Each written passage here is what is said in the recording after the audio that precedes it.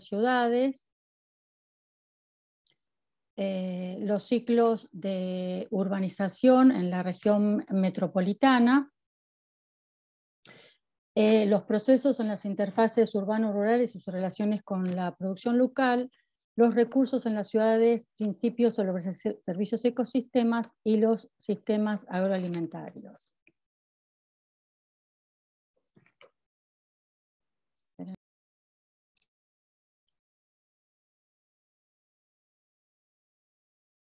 ¿Ahora? Ahí se ve, ahí se ve perfecto. Empiezo de vuelta. Bueno, Andrea Rodríguez ya está. Eh, las grandes urbes, empezamos a grabar. Las, las, características que tenía, como les decían, ahora ven las imágenes eh, de las que caracteriza las eh, regiones metropolitanas de América Latina es que avanzan sobre eh, espontáneamente. No hay una planificación y un orden territorial de hacia dónde se tienen que trasladar, avanzar o no. Pasa tanto, acá tenemos las imágenes de eh, Montevideo, Medellín, Ciudad de México, Santiago de, en Chile, y a veces los límites los pone la propia naturaleza. Sabemos que estamos en la segunda este, ola de, urbanización. Se calcula que el 70% de la población va a vivir en, ciudades urbanas. En, en, América Latina ya estamos en el 80%, según la CEPAL. entonces debemos saber que estamos avanzando sobre tierras que nosotros consideramos, por ejemplo, en la Argentina, de, no puedo pasar, de eh, grandes suelos. Después Laura les va a contar los tipos de suelo que tenemos, son uno de los mejores suelos que existen en el mundo, que son los molisoles, que se encuentran en pocas regiones, son suelos muy productivos. Y eh, la región metropolitana, que está eh, alojada en La Pampa, está sobre esos suelos. como esta, la um, urbanización está se organizaba solamente a base de la especulación inmobiliaria. Nosotros no teníamos una planificación, ni antes ni ahora, lamentablemente. Y desde los 90 en el grupo de GEPAMA lo estamos estudiando de cómo avanza ella. Y ustedes ven que todavía hay muchos intersticios vacíos, de, pueden buscar los mapas que hizo Busay en 1990 en adelante, y ven cómo se fue avanzando. Disculpen cómo va el, PowerPoint que no lo puedo pasar. En el esquema acá vemos en el de arriba, en la figura 1, en, los, en el 1995, cuando empezamos a estudiarlo, lo que veíamos era que esto lo vemos como un sistema complejo, en lo cual tenemos lo que es el sistema urbano y el sistema rural. Entre los dos sistemas, lo que nosotros lo denominamos, se llama, lo denominamos interfase urbano-rural lo que sería el periurbano, es donde confluyen los dos sistemas, el cual tiene sus características propias, no tiene, tiene algunos de los sistemas de las cosas del sistema urbano y otros del sistema rural. Lo que pasa es que se dan ciertas características de los usos muy informales, en lo cual todo lo que serían los, los servicios que me dan culturales, los servicios eh, como impermeabilización de la ciudad, de energía, de agua, de luz, van disminuyendo hacia los bordes del sistema urbano. Y todo lo que me está dando, las funciones y servicios ecológicos que me da y me brinda el campo, el sistema rural, van disminuyendo a medida así ingresa dentro de lo que es el sistema urbano. Acá hay algunas imágenes de lo que es en los bordes, en los 90 se daban estas imágenes, actualmente también. Ya en la, figura 2 lo que vemos es, nosotros lo que introducimos es eh, un cambio que hubo, eh, fue en el sistema de producción que se dio en el sistema rural, en el cual a partir de los 90 empezó a darse lo que es la eh, agricultura industrial, con grandes insumos y cargas de, sistema, de productos agroquímicos. Entonces, los usos del suelo también en el sistema rural fueron variando porque competían eh, lugares como invernáculos, industrias, y lo que se quería era tierra para eh, tener agricultura extensiva como la soja. Y la soja lleva consigo muchísima carga de agroquímicos. Entonces empezaron a haber problemas en los bordes de las ciudades, como se ve en esta, en esta imagen, en las que están en el medio del ejido, el ejido está en medio de lo que serían los sistemas de producción. Estas ciudades directamente reciben, todas, en vez de recibir las funciones, los servicios ecosistémicos, lo que está recibiendo son grandes cargas de agroquímicos. Nosotros en los 90, el doctor Jorge Morelo definió como geofagia, que era todo esto que el consumo que había de eh, tierra. Podía ser superficial, donde nosotros eh, veíamos que se sacaba una capa de, la, parte del suelo más fértil para usarlo en jardinería, ladrilleras. Otra parte era donde, por ejemplo, estas eh, imágenes que se ven, que son las cavas, donde ya sí esa profundidad. Es muy difícil volver a recuperar estos suelos porque eh, ya se les ha cambiado el perfil. Acá vemos, por ejemplo, las ladrilleras. Esto siguen siendo muy común en las bordes de las ciudades encontrarlo, lo cual también tienen, aparte del, perjuicio que trae a lo que es los suelos, también es a la calidad del aire de los alrededores. Como encontramos neosuelos, eh, esta geofagia donde no los comemos, también lo que estamos cambiando es en, concavidad con las cavas y también en altura con los rellenos sanitarios o, como se puede ver en la imagen también, los rellenos que se dan en los bordes de las ciudades medianas y también los basurales de los contaminantes de, los, eh, de la agricultura. Entonces, tenemos tanto lo que es decapitación de los suelos como estos neorrelieves que aparecen, también se cambian lo que serían las redes en el sistema. Entonces aparece todo un neoecosistema van cambiando los perfiles. Entonces, cuando yo les decía a ustedes que el sistema rural también cambiaba, en este eh, medio que nosotros hablamos, que le decimos que es la interfaz entre lo urbano-rural, se empiezan a ver estas cosas, en el cual yo tengo en, una vereda eh, casas o una medianera, como se ve en, este, en esta otra foto, en esta otra imagen, y del otro lado un campo productivo, o en la vereda de enfrente un campo productivo. En lo cual todo lo que está sucediendo en el campo cuando este, están fumigando, cuando están haciendo tareas, todo entra al ejido urbano. Entonces, eso es lo que, que yo les estaba comentando, que todos los beneficios que antes recibía este borde urbano, esta interfase, ahora se ve perjudicada. Walter les habló en la clase anterior que eh, lo que eran las ciudades eh, se comportaban como un metabolismo. Entonces, hasta recién vimos lo que era mirándola desde afuera. Entremos a ver cómo empieza a, a funcionar este metabolismo dentro de la ciudad, cuáles son los flujos que entran a ella. Lo primero que aparece y que es uno de los grandes son los materiales que es el cemento. Ya en, eh, eh, es uno de los, disculpen, eh, el, cemento es algo que está, se extrae con lo que es la piedra caliza, está formado con silicio, con hierro, con aluminio y yeso. A esto es una extracción minera, se le agregan otros, este, otras sustancias, más agua, y lo que hacen es formar el hormigón que es la base de lo que es eh, los edificios y las grandes estructuras en las ciudades, y que, es lo que nosotros conocemos.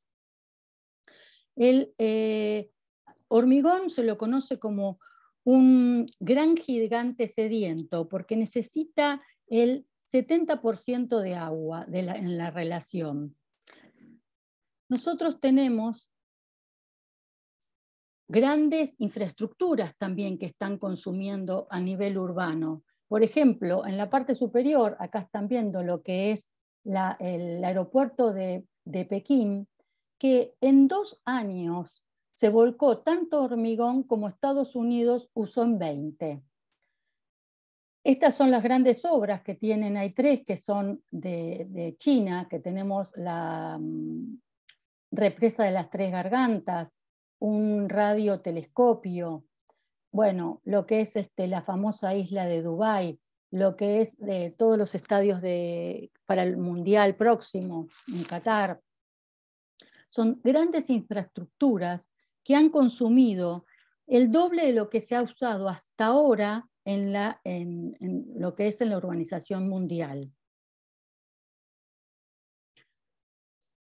Tenemos que saber que todo el plástico que se produjo en los últimos 60 años, que asciende a más de eh, eh, todo el plástico que produjimos nosotros en los últimos 60 años es menos de lo que produjimos hasta ahora en los últimos años de hormigón. Entonces, lo que tenemos que hacer es saber es que tenemos un contaminante bastante alto que me está influyendo en lo que es el sistema. Y, tenemos, y produce una gran... Eh, eh, eh, se me fue la palabra, una emisión de dióxido de carbono. Estas son las principales compañías. Otra vez, 10 compañías multinacionales son las que manejan el mundo de producción de cemento.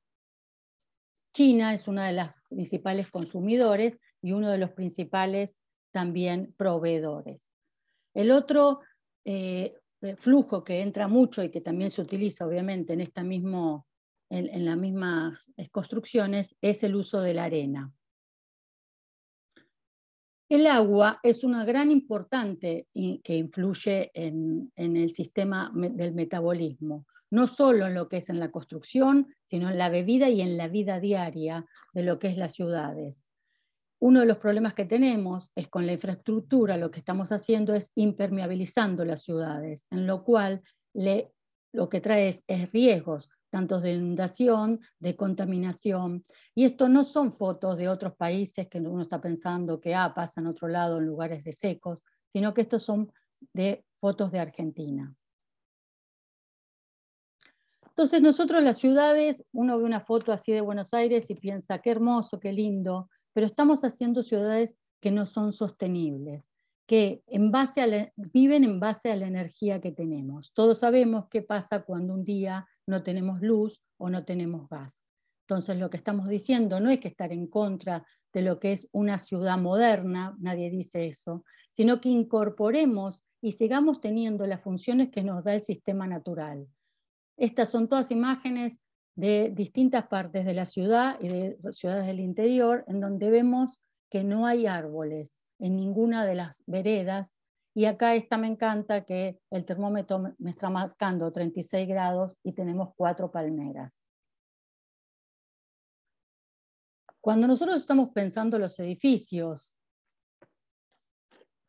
a veces lo que se, se, está midiendo es la estética, lo que quiere el mercado y no la eficiencia de lo que tiene este sistema. Entonces, nosotros estamos viendo que ahí en vez de tener este, el, gran adorno son los aire acondicionados, en la otra un poco más de verde.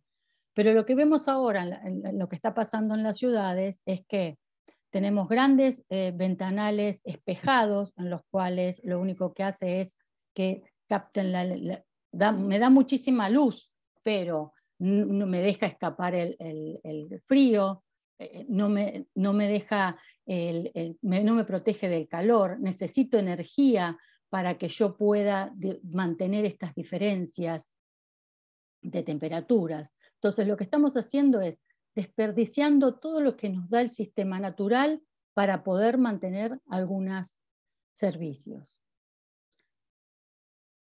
La gran entrada, el gran flujo en este metabolismo que hay en las ciudades es por parte de los alimentos. Eh, diariamente entran millones de toneladas en, las ciudades de alimentos, en lo cual si uno empieza a pensar las, eh, las distancias que recorrieron en el, plato, uno hace el ejercicio de el plato que me comí durante el día, de dónde vino, cuántos kilómetros se trasladó, cuánta energía en el traslado hubo y cuánta, sobre todo, comida se perdió en ese traslado. Porque no tenemos que olvidarnos que no solo, no todos los eh, sistemas y los medios de transporte tienen las condiciones necesarias para mantener los alimentos refrigerados y todo, y la cantidad de alimentos que se pierden en toneladas es un cuarto de lo que se produce, es el desperdicio de lo que se pierde en ese traslado. Entonces, tenemos que empezar a pensar qué es lo que consumimos, de dónde lo traemos y sobre todo hay que pensar que, que, ha cambiado mucho, los más viejos se, se acordarán de eso, había temporadas antes, uno no pretendía comer frutillas en julio, sino que teníamos que esperar a la temporada de verano para consumirlo. Y así eran con todas las frutas y hortalizas. Entonces, tenemos que volver otra vez a consumir frutas y verduras de estación y tratar de empezar a tener y consumir lo que están en los mercados cercanos.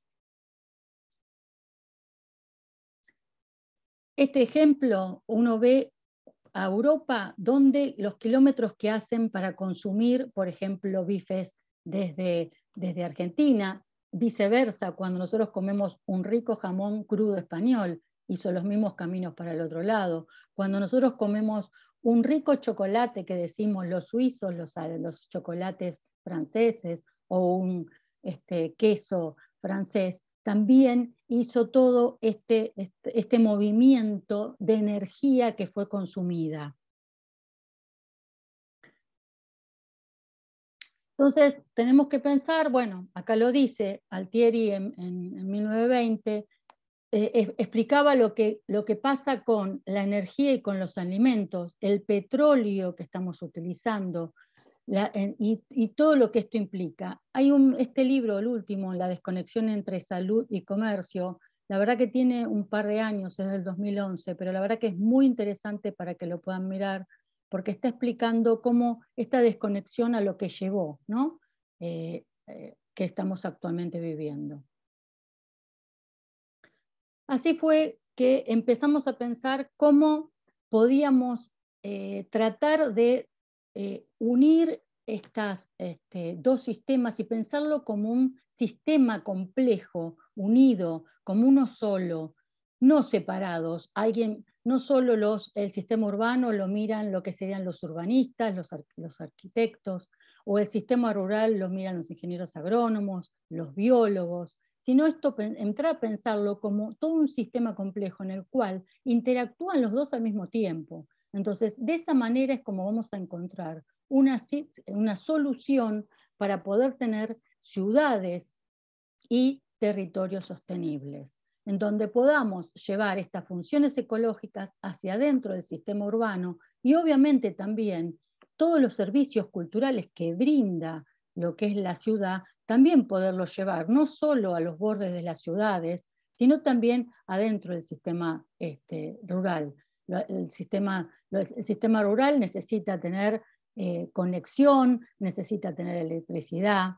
Entonces, si nosotros lo empezamos a mirar como un sistema complejo, como un todo, vamos a tener más soluciones. ¿Para qué? Porque estos, eh, nosotros, el sistema, yo les decía que en el anterior ustedes ven que el sistema, las funciones que nos brinda, ecológicas, que nos brinda el sistema rural, queremos llevarlo a la ciudad, al sistema urbano. ¿Y por qué?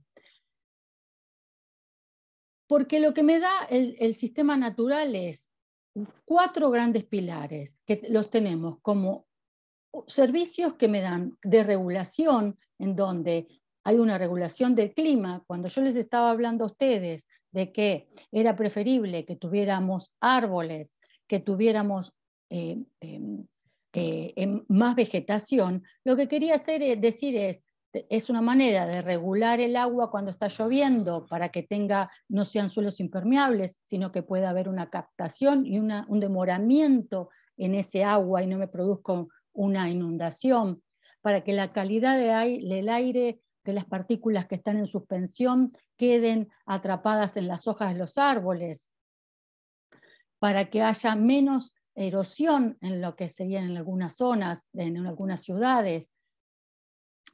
También no solo me brindan eh, los servicios ecosistémicos una regulación, también me dan unos servicios que son muy importantes, que es los culturales. En las ciudades a veces no pensamos, eh, lo, verde lo vemos como el parque lindo en el cual salgo y ando en bicicleta, pero también tiene más funciones que esa. Esa es fantástica, es una, es un valor espiritual que nos da y de recreación, y, pero también lo que tiene es que eh, eh, sirve para lo que, es, lo que es nuestra salud física y la salud mental. Así vemos los que son también de aprovisionamiento, los servicios ecosistémicos, en donde nosotros sacamos los alimentos, y los de sostenimiento, en el cual sirven lo que es para eh, que subsista el ecosistema.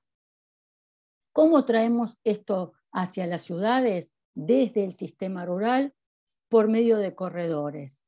Ya más en la próxima clase, eh, eh, Mariana Silva les va a hablar de ellos, pero para que vayan entendiendo es, nosotros tenemos que crearle al sistema natural a todos los que participan, tanto sean a ese ecosistema, que una autopista para que pueda entrar a la ciudad. Esa autopista para que pueda entrar a la ciudad son los espacios verdes. Y tiene que haber una conexión entre lo que los espacios verdes que nosotros tenemos hacia el interior de la ciudad como los que tenemos afuera. Así se pueden trasladar los polinizadores, las aves, y con ellas van asociados también las especies de árboles, plantas, de jardines. ¿Por qué? Porque los polinizadores y las aves trasladan las semillas y necesitan eh, el ecosistema de ellos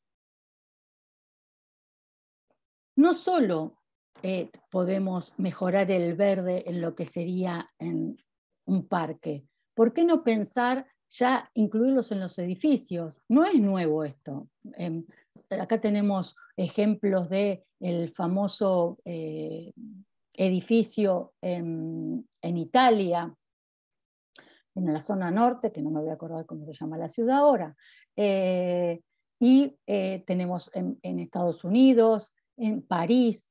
Entonces, no solo hay que pensar el verde en los que serían los parques, sino empezar a introducir verde en los propios edificios. Y este verde no tiene por qué ser solo un verde estético y ornamental. También podemos empezar a pensar, como estas ciudades lo han hecho, de empezar a tener verdes productivos, en lo cual tengo un árbol frutal en el balcón, eh, tengo en, los jardines eh, públicos también producciones en donde se encargan la propia población del mantenimiento.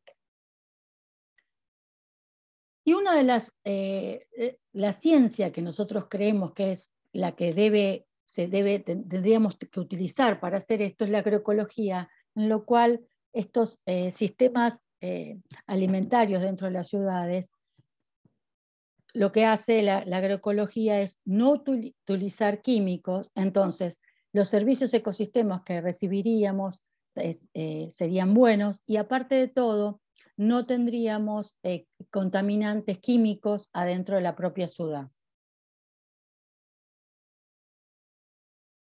nosotros no estamos hablando de que la producción que tengamos dentro de una ciudad va a reemplazar este flujo de toneladas de alimentos que yo le decía que entraban en las ciudades, sino lo que va a hacer es complementar.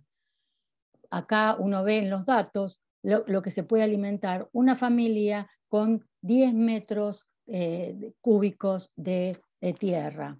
Ya sucedió en la Argentina que miles de personas se eh, alimentaron en el 2001 con el proyecto Pro Huertas, que eh, lo que hacía era, tenía tres sistemas productivos, en el cual era la producción comunitaria, en lo cual se pasaban los colegios o en las iglesias o en un terreno municipal, y los huertos particulares.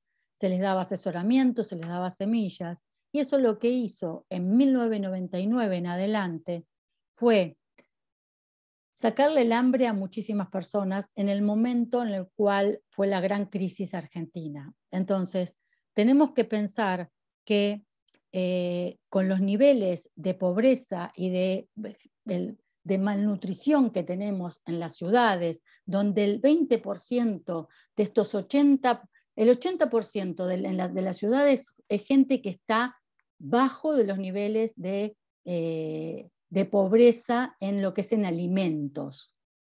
El 20% de esa está malnutrida. Si nosotros logramos que darle de comer con ciertos eh, eh, granjas urbanas, nos podríamos sentir satisfechos. En Rosario pasó y en la Argentina pasó en su momento. Esto Walter se los comentaba el otro día, Nueva York, esto no es solamente para ciudades pobres latinoamericanas, sino que muchas ciudades del mundo lo están haciendo. Esto es un, eh, un sistema donde están atrayendo abejas en los techos de Nueva York, Acá vemos un sistema de lo que es eh, en San Pablo, donde se están alimentando en, en las ciudades de San Pablo, lo que es en las eh, villas miserias, favelas, no me salía, eh, con los sistemas rurales. Patios de compostaje, en lo cual lo que se hizo fue todo lo que era em, eh, de residuos, por ejemplo, de café de las eh, grandes cafeterías, lo que eran residuos forestales, se entregaban a estos patios de compostaje para que haya un reciclado y, cuando esto se, lograba el compostaje pasaba a darse a otra vez a la agricultura urbana todos estos este, fertilizantes naturales. Esta es la imagen de una de las grandes eh, patios eh, comestibles en, Río de Janeiro, está en medio de las favelas, en lo cual acá dice que todos los meses se distribuye dos toneladas de alimentos a 800 hogares en, la zona. Esto es eh, Copenhague, en Dinamarca. Obviamente, la ciudad antigua es difícil meter en ese ejido cerrado todo lo que sería una producción urbana, pero los dinamarqueses quisieron esto y en Copenhague, sus alrededores, en el borde de la ciudad, empezaron a tener este tipo de producción, en donde vemos su propia casa con su jardín y la producción adentro. Serían nuestros countries, pero no eh, con eh, ornamentales, sino con su propia producción. Estos también son imágenes de Italia, en la Toscana, donde empezaron a tener hace ya muchos años la producción de tomates en los bordes de las ciudades y adentro de sus ciudades. Nosotros en el, 2018, eh, Walter propuso tener lo que se llama un escudo verde agroecológico, en el cual la idea era en estas ciudades intermedias que yo les, estaba, les dije al principio, que sufrían el, impacto de lo que es la producción agrícola industrial, poderle crear alrededor un, estos EVAs que nosotros llamábamos, en lo cual en estas áreas de fuelle el sistema urbano que quedara protegido por el tipo de producción que había y también darle una solución en el sistema rural donde se le estaban poniendo los limitantes en los bordes de las ciudades para la producción, estas zonas que se, llamaban se llaman de exclusión. Entonces la propuesta nuestra era crear áreas de amortiguación y también estas áreas de amortiguación con producción agroecológica servían para conectarlos posteriormente con el interior de la ciudad, con lo que hablé antes. Entonces, lo que tenemos que pensar para el futuro es, ¿qué queremos? E, eso es lo más importante. ¿Queremos la ciudad de los supersónicos, en el cual el verde estaba en una pantalla? Eh, el verde es solamente un lindo césped cortado como hay en una cancha de fútbol, o tenemos en Nueva York, como vemos acá, la producción de hortalizas enfrente de la ciudad o en sus propios techos en las ciudades más pobladas de, Estados Unidos. No es algo eh, tan ilusorio y que puede pasar dentro de 50 años. Se está haciendo. Lo que hay que hacer es empezar a tener una planificación, un ordenamiento y una nueva mirada en donde incluyamos estos dos sistemas. No mirar de un lado y no mirar solo de un otro, sino los dos, lo que sería el sistema urbano y el sistema rural integrados. Y sobre todo, llegar a tener lo que es un ordenamiento territorial, donde se limiten los usos del suelo, donde establezcamos nosotros qué es lo que va a haber en el futuro en ese suelo y no la especulación inmobiliaria que no va a mirar por nosotros, sino lo único que está mirando es su bolsillo. Muchas gracias. Acá les dejo mi mail y cualquier pregunta después al final de la clase trataré de contestárselas.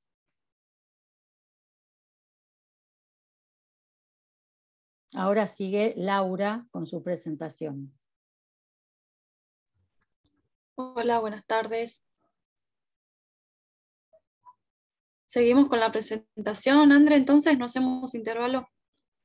Eh, seguí, después lo cortás, eh, como quieras vos. Bueno, arrancamos si quieren. Entonces, eh, quiero iniciar en principio pidiendo disculpas a todos en general. La verdad es que se me tildó la computadora 10 minutos antes de la presentación, la tuve que reiniciar y estaba muy lenta en el inicio, en el arranque, así que bueno, pero principalmente a mi compañera Andrea que tuvo que arrancar inesperadamente, así que pido disculpas. Ahora voy a pasar entonces a, contarles mi charla.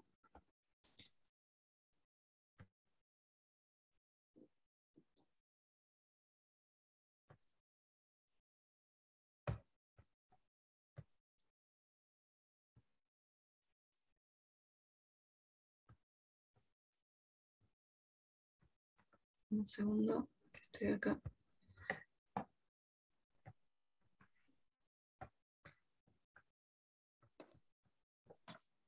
¿Estoy compartiendo la pantalla? Sí. sí, se ve perfecto. Bien.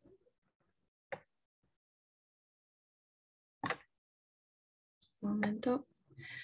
Bueno, como habrán podido ver,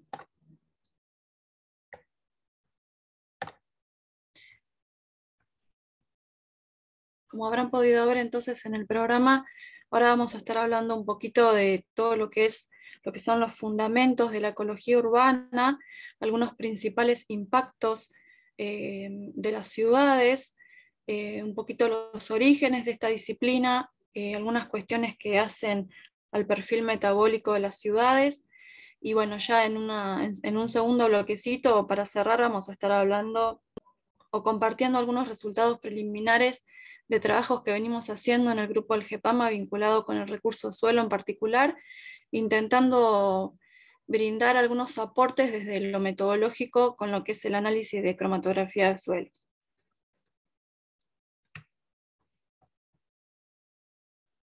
Aguarden un segundo que no estoy pudiendo pasar.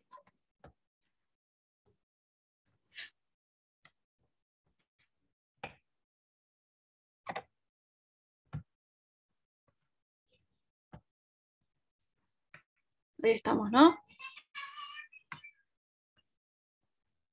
Bueno, entonces un poco para... Bien, gracias. Entonces, un poco para dar comienzo y ubicarnos un poquito temporalmente, a mencionar simplemente algunas cuestiones importantes desde la cronología histórica. A partir de los años 1860, fundamentalmente, con los primeros naturalistas viajeros que de alguna manera se pueden considerar los padres de la ecología clásica como una disciplina en donde empiezan a surgir conceptos fundamentales y básicos como el de evolución, el de selección natural, el de la herencia genética, la definición de la palabra ecología, eh, digamos, todos estos conceptos que fueron dando origen a las bases teóricas de esta ciencia y a lo largo de muchas décadas eh, donde se fueron desarrollando subdisciplinas o, o áreas específicas que fueron constituyendo la ecología, como la fisiología vegetal, la fisiología animal, la botánica, etc. Pasaron más de 100 años em, hasta que se empieza a tener una mirada ya no tanto desde el organismo en sí, sino a un nivel más macro, en donde lo que empieza a interesar es como objeto de estudio para la ecología es el ecosistema como un sistema complejo, como un sistema donde los elementos se encuentran interconectados.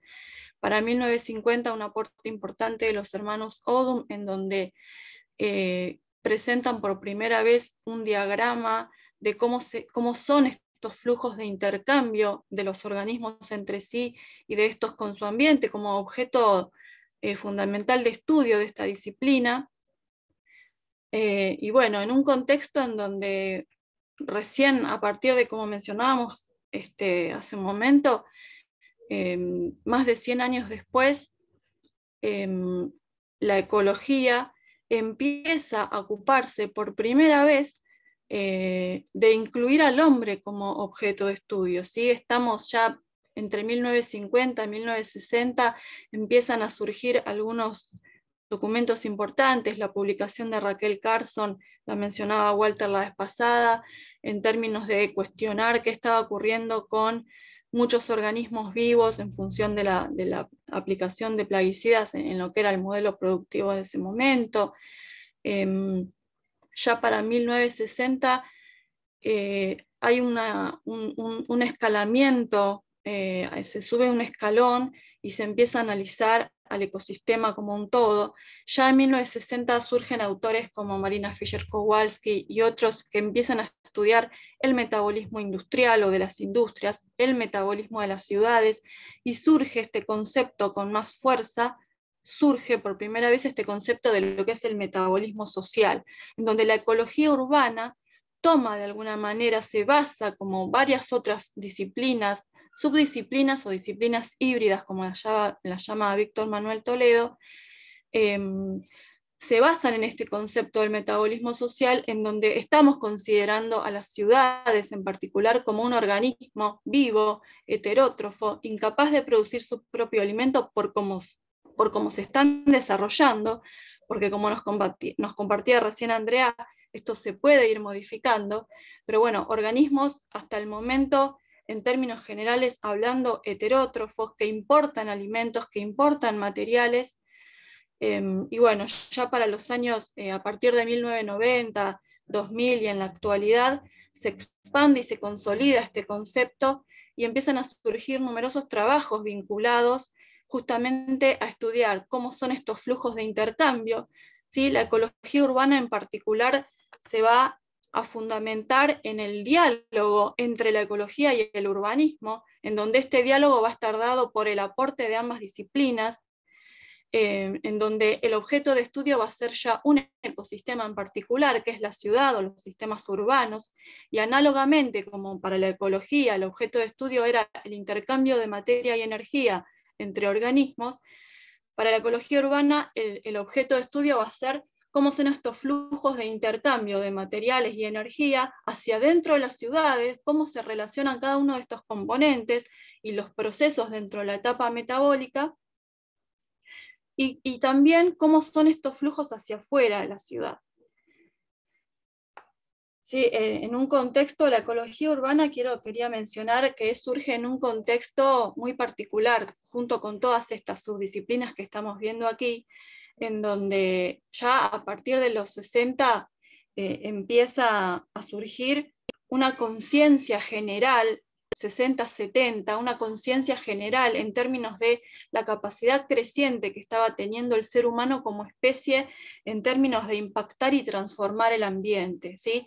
Se toma la primera fotografía de la Tierra desde afuera, se toma conciencia de los límites biofísicos de la Tierra como planeta, surgen las primeras publicaciones de los límites del crecimiento, surgen publicaciones, surgen los primeros encuentros ambientales a nivel internacional, surgen los primeros movimientos ecologistas, un poco a consecuencia de la publicación de Raquel Carson. Entonces, en todo este escenario donde se empieza a cuestionar el rol del hombre, la ecología urbana cobra importancia en términos de ser por primera vez una disciplina que intenta integrar una mirada desde, los sistemas naturales y desde los sistemas sociales y evaluar justamente estos impactos integrando a la especie humana como objeto de estudio, que hasta el momento no había sido parte de estudio este, de la ecología.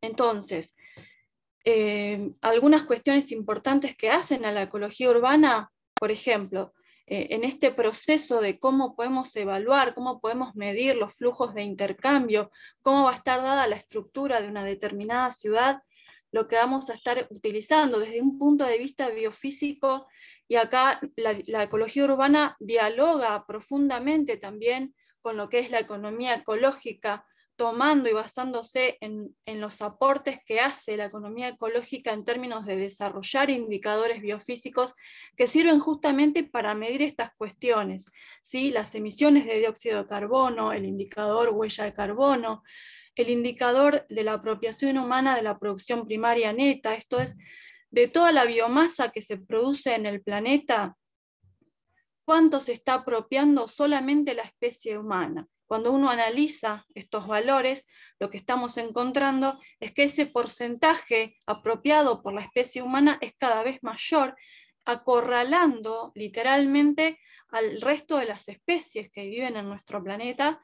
Em, y cuando hablamos de la biomasa nos estamos refiriendo fundamentalmente a lo que es la apropiación por parte de los alimentos y por parte de la utilización de madera. ¿sí? Algunas otras cuestiones que también hacen a la biomasa, que puede ser, por ejemplo, el uso de resinas o de materiales como el caucho o de materiales que se extraen de los vegetales o de los árboles en la selva, por ejemplo, con usos medicinales y demás. Pero fundamentalmente nos estamos refiriendo a la utilización de madera y alimentos. Otro indicador importante, el de la huella hídrica, como el consumo total de agua que se realiza o que se hace eh, para producir un determinado producto o la huella hídrica de un país a lo largo de un año o de una determinada industria. ¿sí? Es la cantidad total de agua. Se empieza a medir por primera vez no solamente lo visible, sino lo invisible. Cuánto se necesitó invertir en la producción de ese, de ese bien o en el sostenimiento de esa sociedad o de ese país.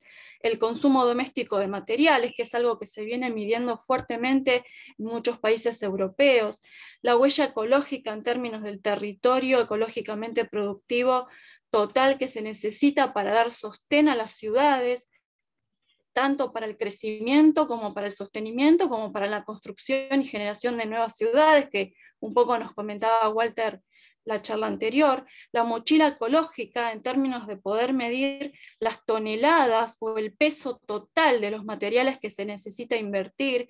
Y acá un ejemplo emblemático que siempre utiliza Walter, que me pareció importante mostrarlo, es cuántos materiales, cuántos residuos estamos generando en términos de la voladura de una montaña eh, con, con, lo que es la minería cielo abierto para generar después un anillo de oro. ¿sí? Estamos dejando realmente muchos residuos eh, que no están siendo considerados para poder generar simplemente este anillo. Y bueno, como parte también de los objetivos de la ecología urbana va a ser poder aportar y poder construir nuevos indicadores que no solamente este, tengan en cuenta las cuestiones de más biofísicas, sino también desde lo socioambiental, indicadores sociales. Cuestiones también vinculadas con la ecología urbana como objetivo de la disciplina son, es, poder aportar a la construcción de nuevas políticas, políticas públicas en donde se empiecen a considerar estos impactos, donde se le, esté, donde se le otorgue otra prioridad a los temas ambientales que siempre quedan relegados como si fuera una cuestión secundaria, cuando en realidad es la base de todo el desarrollo de la, de la especie humana y del sostenimiento del planeta en general. Aportar también en materia de educación ambiental, ¿sí? la educación ambiental que tiene que ser, tiene que haber una inversión en educación ambiental, pero sostenida desde los niveles iniciales para poder eh, eh, formar generaciones conscientes de lo que estamos haciendo, de dónde tomamos los recursos. Y también tiene como objetivo poder evidenciar esto que nos compartía Andrea, ¿no? Esto de de dónde vienen las cosas, de dónde vienen los alimentos que estamos consumiendo, cuánta energía se consumió en ese transporte, cuánto estamos tirando. Eh, poder evidenciar estas cuestiones que muchas veces por vivir en la ciudad no lo estamos pudiendo visualizar eh, porque estamos muy acostumbrados a ir al supermercado y comprar directamente, y no, no nos ponemos a pensar de dónde vienen las cosas, ni los impactos que se generan detrás de esto. Bueno, también va a ser objetivo importante de la ecología urbana como disciplina eh, poder medir estos impactos, como decíamos, y también trabajar en las propuestas, ¿no? propuestas de mitigación. Em, bueno, algunas cosas que vamos a ir compartiendo a lo largo de la charla son los impactos sobre el ciclo natural del agua, qué está ocurriendo con todo lo que es la gestión de los residuos, un poco pensando también en lo que surgió en el, en el comentario de la charla anterior, que se decía, bueno, desde el metabolismo urbano como concepto, cuando veíamos el perfil metabólico de las ciudades que nos compartía Walter, eh, surgió esta idea de que, bueno, se está midiendo todo en términos de ingresos, pero ¿qué pasa con los egresos? Bueno, un poquito vamos a estar hablando de eso. Toda la energía que se consume en cuanto a los transportes, sea hacia adentro de las ciudades o para traer todos los insumos y también para, em, para sacar los residuos hasta el lugar donde se tratan o se disponen. Em, bueno, y por supuesto, como otro impacto, finalmente, todo lo que tiene que ver con el avance de la frontera urbana, sea sobre suelos rurales o sobre suelos naturales, y todo lo que tiene que ver con el impacto de la extracción de suelos para materiales de construcción. Simplemente un pasaje rápido por las etapas del metabolismo social, este, bueno, simplemente tener en cuenta ¿no? todos estos procesos y esta capacidad creciente que el hombre viene teniendo. Por algo ya estamos hablando de que estamos en, la era del antropoceno, en donde el hombre tiene una capacidad cada vez mayor de extraer, de, impactar y de transformar los ecosistemas. Un poco Andrea nos contaba esto de cómo se elevan terrenos trayendo suelos desde otros lugares, elevando la cota, alterando todo lo que es el ciclo natural del agua, por ejemplo, todo lo que tiene que ver con la extracción de madera, con el avance de la frontera agrícola en términos del sistema predominante de producción de alimentos, lo que contábamos recién sobre minería y lo, lo, que está dejando esta actividad como consecuencia, y todo lo que hace también a la extracción de combustibles, sean convencionales o no convencionales. En la etapa de circulación, que es otra la etapa del metabolismo social, algo que menciona y explica muy bien Víctor Manuel Toledo en un trabajo del 2011, tiene que ver con esto, ¿no? Esta idea de que a partir de la globalización de los años 90, cuando crece exponencialmente el flujo de intercambio de materiales entre países, en donde las distancias recorridas son cada vez mayores, los consumos en términos de traslados y de transportes se elevan exponencialmente también. Y además de eso, como si esto fuera poco, también se da un proceso, acompañando esto, se da un proceso de complejización en lo que son los ciclos productivos de determinados productos, en donde ya no solamente no se produce todo en un mismo lugar, sino que todo lo que es el ciclo, la cadena productiva, se, empieza a ensamblar en un lugar, se, comienza la, se continúa con la transformación o el ensamble final en otro espacio. Y esto, todo esto hace que los consumos sigan creciendo siempre cuando estamos produciendo algo. Y bueno, la etapa de circulación está presente en todo el circuito metabólico, ¿sí? desde que extraemos los materiales desde afuera de las ciudades hasta que las incorporamos, los transformamos.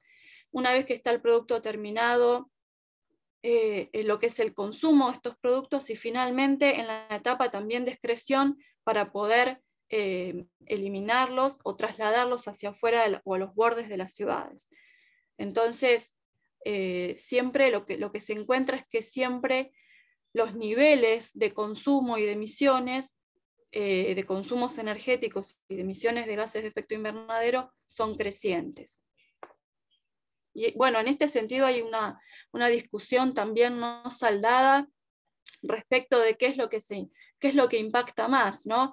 Una ciudad compacta en donde las distancias que se recorren son pequeñas o una ciudad más difusa con espacios verdes internos en donde por un lado se, se logran mejorar los servicios ecosistémicos en esos espacios, pero las distancias que se recorren son mayores. Entonces, son todas cuestiones que se están empezando a pensar, que se están empezando a evaluar, a estudiar y que se tienen que considerar y empezar a, incorporar en la planificación urbana como nos compartía Andrea.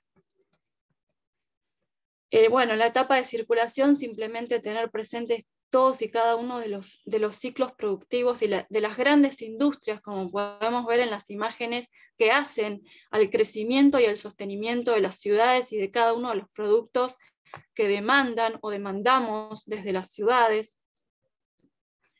Con respecto a los consumos, un poco ya lo comentó Walter en su momento, también un poco mencionó Andrea, simplemente mencionar que las ciudades, o, recordar que las ciudades, si bien en términos de superficie o de territorio, ocupan eh, pequeños espacios eh, comparado con lo que es el territorio global, la realidad es que se están llevando más del 60% de los recursos que demanda la humanidad y son las responsables de más del 75% de las emisiones de gases de efecto invernadero.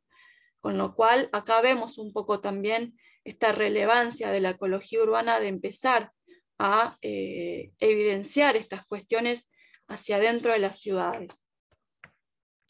Bueno, un poco simplemente para recordar lo de los perfiles metabólicos ¿sí? y la importancia de ver Em, desde, en términos de consumos, em, por ejemplo, ¿qué, información nos, puede dar este, este tipo de, análisis o de estudio? Tiene que ver justamente con que al ver uno la tasa metabólica o el perfil metabólico de determinadas ciudades o países o provincias, puede rápidamente saber o tener una idea eh, respecto del nivel de desarrollo de esas ciudades. Como podemos observar, por ejemplo, para el caso de Buenos Aires tenemos un elevado consumo de lo que es biomasa, además de agua y eh, consumo doméstico de materiales. Eh, si bien en términos relativos tenemos consumos, digamos, promediando lo que sería la media mundial de consumo de electricidad o energía, eh, la realidad es que comparado con otras ciudades industrializadas o de países desarrollados, en donde claramente tienen un bajo nivel de consumo de biomasa, pero tienen un, muy elevado nivel de consumo de, como nos compartía Andrea hace un rato, ¿no? minerales para la construcción, minerales para la industria y oro, eh, electricidad, etc. En el caso de Buenos Aires, este, eh, este, digamos, este exacerbado consumo de biomasa viene dado justamente porque una de las bases de nuestra economía está asociada con, la exportación de biomasa, la, exportación de, materias primas, en donde estamos exportando nutrientes del suelo allí contenidos y estamos exportando también el agua que fue invertida en la producción de esa biomasa. Bueno, y en términos de excreción, un poco mencionar que cuando hablamos de excreción no tenemos que pensar solamente en los residuos sólidos urbanos, sino en todo tipo de residuos que estamos generando. Efluentes industriales, efluentes cloacales que son vertidos en crudo directamente sobre los cuerpos de agua, bajo esta idea de que tienen una capacidad depuradora infinita, residuos de em, escombros o de residuos de materiales de construcción, que realmente son volúmenes importantes, residuos asociados a las emisiones en términos de la actividad industrial, los residuos plásticos que empiezan a convertirse en un verdadero problema ya a nivel global, em, no solamente en los cuerpos de agua, en donde ya se viene hace décadas alertando sobre la incorporación de los microplásticos en los organismos, em, de, los que son los cuerpos de agua, los organismos acuáticos, sino también en los sistemas terrestres, en donde ya se está empezando a estudiar, se está empezando a demostrar que los, microplásticos están empezando a ingresar en la cadena trófica y en, en suelos en donde un microplástico puede ser ingerido por una lombriz, por ejemplo, y mediante su proceso metabólico, esa lombriz devuelve al suelo eh, el microplástico con menores dimensiones y esto da ingreso a la cadena trófica para que en la microfauna se incorporen estos microplásticos y también son transportados hacia las profundidades del suelo eh, por los mismos organismos. Bueno, todo lo que es la, chatarra electrónica, y bueno, y por supuesto los residuos sólidos urbanos como estamos viendo acá en las imágenes. Bueno, entonces un poquito ahora para empezar a hablar de los impactos más concretos sobre los ciclos naturales, los impactos de las ciudades. em, simplemente recordar y tener presente algunas proyecciones de Naciones Unidas en donde ya sabemos que la población mundial viene creciendo, que va a seguir creciendo, que para el 2050 vamos a ser más de 9 mil millones de personas o de habitantes. Sumado a eso, el, el contexto actual que un poco nos compartía Walter la semana pasada respecto de la segunda ola de urbanización. No solamente se incrementa la población mundial, sino que en términos relativos cada vez más gente vive en las ciudades, eh, a partir del año 2007, por primera vez, la población urbana supera la población rural. ¿sí? Bueno, ¿cuáles son algunos de estos impactos que no siempre se discuten o no siempre se ven, no siempre son visibles? Una primera cuestión que podemos mencionar, que es algo que caracteriza, por ejemplo, a nuestro país o a nuestras regiones, tiene que ver con el vaciamiento del campo. Esto de las migraciones desde lo rural hacia lo urbano en búsqueda de oportunidades laborales, en búsqueda de una mejor calidad de vida, terminan dando como resultado el hecho de que quedan grandes extensiones de nuestro territorio vacías, quedando vulnerables a ser ocupadas por otros actores que empiezan a aparecer. Y que además estas personas que migran hacia la ciudad tienen pocas posibilidades de tener realmente acceso a una buena calidad de vida. Y eso un poco cuando hablamos de las ciudades latinoamericanas, el trabajo de Enrique Ardoy, que ya tiene unas décadas, pero que tiene una vigencia en cuanto a que el problema sigue siendo así y sigue existiendo. Un poco lo que él menciona en este libro es que las ciudades del tercer mundo, em, a diferencia de las del primer mundo, en donde los problemas más importantes que tenían las ciudades del primer mundo estaban asociados a la contaminación del aire o a la contaminación del agua, en las ciudades latinoamericanas o del tercer mundo en general, eh, los mayores problemas en las ciudades estaban dados por los enormes niveles de desigualdad entre los más ricos y los más pobres. Es decir, la falta de acceso a una buena calidad de vida, a una buena calidad en la salud y a la educación y a otros servicios que, como contaba Andrea, son propios de las ciudades. ¿sí? Entonces, ¿cómo crecen las ciudades latinoamericanas? Bueno, crecen sin planificación, sin brindar adecuadamente servicios para la calidad de vida de la gente. Eso es una característica, si se quiere. Bueno, y aquí simplemente me, me, gusta mostrar esta imagen en donde se ve, este es un trabajo también, el mismo trabajo que mencionaba hace un rato de Víctor Manuel Toledo y González de Molina, en donde ellos comparan cada una de las etapas del metabolismo social y muestran cómo, eh, cuál, en digamos, qué etapa se da con mayor intensidad en cada uno de estos tres metabolismos que vemos, ¿no? Un metabolismo más rural o de producción, un metabolismo urbano y un metabolismo industrial. En donde, ¿por qué me interesa mostrar esto acá en la charla de ecología urbana? Porque como podemos ver, para el caso de la ecología urbana, las dos etapas que se ven más intensamente involucradas en este proceso son la de consumo y la de excreción. ¿sí? Bueno, entonces ahora un poco más concretamente hablando, ¿cuáles son los impactos más importantes que se analizan desde la ecología urbana en términos de alteraciones o modificaciones sobre el ciclo natural del agua, sobre el ciclo hidrológico? ¿sí? Como podemos ver, bueno, el ciclo hidrológico todos lo conocemos, algunos impactos fundamentales. Primero, hacer algunas menciones para tener presente, ¿no? Cuando hablamos del agua como recurso y decimos que ya es un recurso escaso, que ya se empieza a considerar tanto al agua como al suelo como recursos no renovables, en términos de que justamente, en términos de que la disponibilidad del, del recurso, si lo comparamos con la demanda, empieza a, existir serios problemas en la falta de accesibilidad.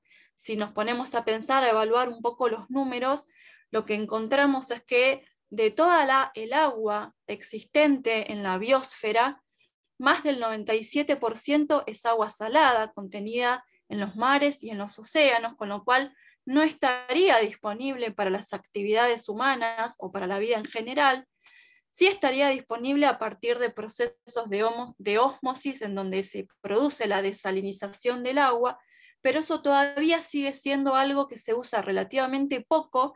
¿Por qué? Porque tiene un, problema importante que es el costo en términos de el elevado consumo energético que se realiza para, para hacer este proceso de desalinización del agua. Entonces, más del 97% del agua no está en principio disponible para las actividades humanas. De ese 2,6% que queda de agua dulce, más del 1,6% se encuentra congelada o confinada en los casquetes polares, con lo cual nuevamente no está disponible para las actividades humanas. Y de ese alrededor del 1% que queda, sí estamos hablando de que, pero fíjense que de todo el agua, solamente alrededor del 1% es el agua que se encuentra disponible. Y dentro de ese 1%, ¿cuáles son las actividades humanas que más consumo de agua se están llevando? Bueno, en términos globales, ¿sí? no nacionales, en términos globales, lo que se publica, lo que se viene estudiando, según la fuente que uno consulte, es que entre el 60 y el 80% del agua es consumida por la actividad agrícola, es decir, para la producción de alimentos.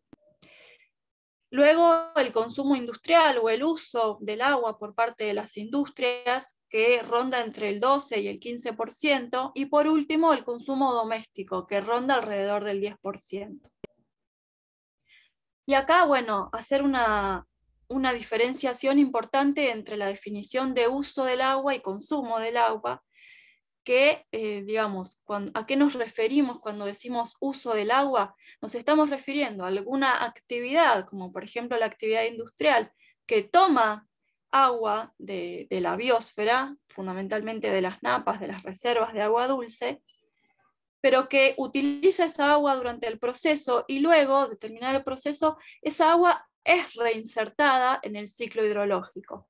Eso, digamos, aproximadamente el 85% del agua que toman las industrias es devuelta o reinsertada al circuito.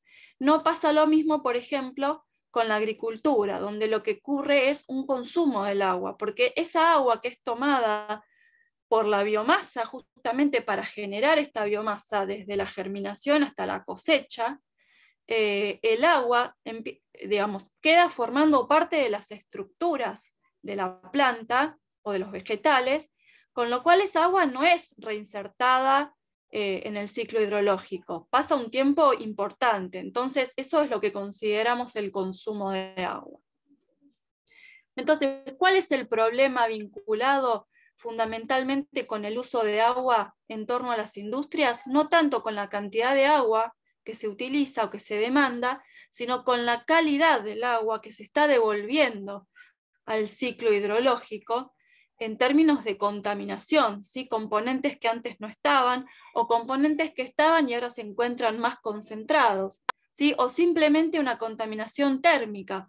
Si estamos devolviendo un efluente industrial con elevada temperatura un cuerpo de agua, eso puede estar afectando a los organismos de ese cuerpo de agua que no toleran cierta temperatura, por ejemplo.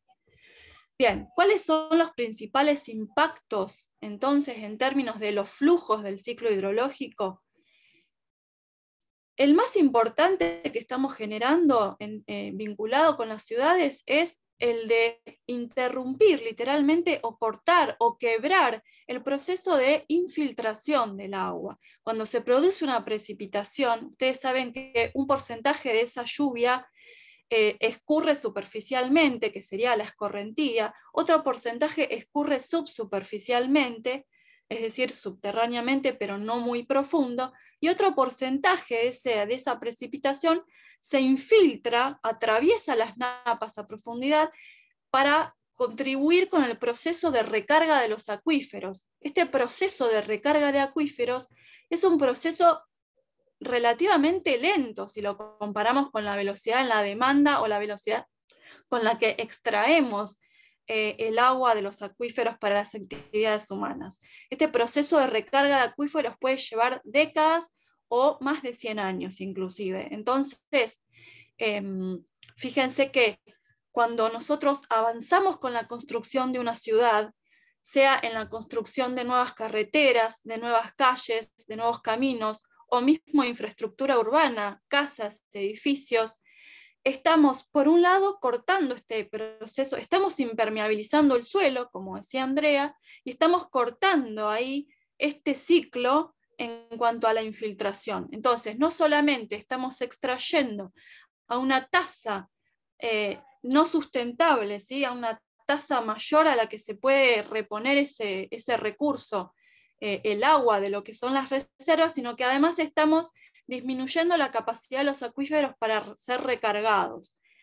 Em, otra cuestión, alteración importante, que un poco lo mencionamos también, tiene que ver con esto de extraer suelos o terrenos de determinados espacios y son trasladados y utilizados para elevar la cota de algunos espacios, por ejemplo, en territorios de humedales, que tienen una cantidad de servicios ecosistémicos fundamentales em, en, términos de regulación, por ejemplo, hídrica, eh, y estamos impactando fuertemente al rellenar estos suelos para elevar la cota de estos terrenos y poder avanzar con, con construcciones. El caso típico en Argentina está dado por la compra barata de terrenos bajos por emprendimientos inmobiliarios, la elevación de estos terrenos mediante relleno, eh, y una vez que se eleva este terreno, em, aumenta el precio de ese, de ese territorio, de ese espacio, se construye, se avanza con la construcción fundamentalmente de lo que son urbanizaciones privadas o barrios cerrados, generando fuertes transformaciones en el ciclo natural de escurrimiento, sea superficial o sea subterráneo. Em, bueno, generando además, por supuesto, algo clásico que ocurre eh, en, torno a muchos barrios cerrados que tiene que ver con las inundaciones que rodean ese espacio por haber elevado el terreno eh, con todas estas transformaciones que estamos mencionando. ¿sí? Bueno, por supuesto, otra alteración importante es la extracción subterránea del agua para actividades industriales, agrícolas y demás, en donde, como decíamos recién, la tasa o la velocidad de, extracción supera altamente la capacidad o la velocidad con la que se recargan los acuíferos. Entonces, estas reservas de agua dulce realmente se están empezando a, o sea, ya, ya tenemos serios problemas en muchos lugares con respecto a la disponibilidad de agua. Respecto de la contaminación ahora, y no en cuanto a la cantidad o los flujos, sino a la contaminación, bueno, por supuesto, el incremento creciente y constante de la emisión de gases de efecto invernadero, fundamentalmente dióxido de carbono, está generando a escala global lo que ya todos conocemos, aumento de precipitaciones en algunos lugares, inundaciones, la aceleración del derretimiento de los casquetes polares o los, hielos glaciares, em, sequías en otros lugares, eh, incendios generados a consecuencia de la sequía, etc. Son fuertes alteraciones a escala global que estamos generando como consecuencia de la actividad humana. Por, por supuesto, el vertido de fluentes industriales, como decíamos recién, que muchas veces no son tratados como debería tratarse por falta de controles, por un tema de costos, etc. El vertido, de fluentes cloacales, ¿sí? que son arrojados en crudo, sin tratamiento alguno. Por supuesto, también residuos de agroquímicos que por ahí no llegan solamente desde el ámbito urbano, aunque sí se aplican también agroquímicos dentro de las ciudades, por ejemplo, para controlar el crecimiento de algunas malezas o controlar el desarrollo de mosquitos. Pero bueno, también llegan desde los espacios productivos, como nos compartía Andrea, en muchas ciudades intermedias tenemos esta situación en donde simplemente una calle es lo que, lo que divide la zona urbana de la zona rural. Entonces, estos espacios de interfase sumamente pequeños, eh, lo que estamos encontrando es que los, los plaguicidas están llegando a los cuerpos de agua, impactando la calidad del agua. El fenómeno de lluvia ácida que se venía dando fuertemente hace unas décadas, ahora se, ha logrado relativamente controlar en términos de algunas este, mejoras en la producción o, en la refinación, si se quiere, de los combustibles fósiles, entonces se ha reducido la emisión de óxidos de nitrógeno y de azufre. La lluvia ácida era un fenómeno que venía tomando como mucha importancia, ahora se ha logrado frenar relativamente, y bueno, y el proceso de salinización también, ¿no? Esto de cuando se extrae em, fuertemente o digamos exacerbadamente, se extrae agua de una determinada napa subterránea, eh, y lo que termina generando es tanta presión que termina generando el proceso de intrusión salina, es decir, el fenómeno de que el agua comienza a subir desde napas inferiores que, por ejemplo, pueden tener un alto contenido salino, contaminando una napa en donde antes el nivel de sales era, era otro, era menor. ¿sí? Es un, un fenómeno importante que ocurre en algunas zonas de Argentina, en algunas zonas productivas. Bueno, hasta acá un poco con respecto a los impactos de las ciudades sobre el, sobre el ciclo hidrológico. Ahora contarles un poquito respecto de qué está pasando con los residuos en Argentina y en general. GIRSU es la gestión integral de los residuos sólidos urbanos. ¿Cuál es un poco la situación argentina? En Argentina lo que encontramos es que, si bien no existen cifras oficiales publicadas en términos de qué cantidad de residuos totales, del total que se genera, qué, porcentaje se está logrando reciclar, em, convertir en compost o desviar simplemente del circuito formal. A ver, el tratamiento formal que predomina en la Argentina es, como todos sabemos, eh, la disposición final en relleno sanitario. En el mejor de los casos, en el peor de los casos, la generación de basurales a cielo abierto, como nos mostraba Andrea hace un rato, que termina ocurriendo también un poco a consecuencia de que la cobertura de recolección no es completa en las ciudades, también por un tema de costo, dado que son los municipios los que se deben hacer responsables económicamente de la recolección de los residuos y de pagar por cada tonelada que se dispone de residuos en el relleno sanitario. Muchas veces son los mismos municipios los que, por un tema de minimizar costos, terminan arrojando residuos en basurales a cielo abierto en las márgenes de las ciudades o en las zonas que son linderas con otros municipios, ¿sí? en las zonas por ahí menos céntricas. Eh, bueno, como decía, si bien no hay cifras oficiales, lo que se termina, lo que manejan los investigadores que trabajan en este tema específico de los residuos, es que en Argentina alrededor del 90% o del 85% de los residuos termina en, eh, en relleno sanitario, ¿sí? en disposición final en el relleno sanitario. Es decir, que tenemos un porcentaje sumamente bajo que está siendo eh, reciclado o desviado de este circuito.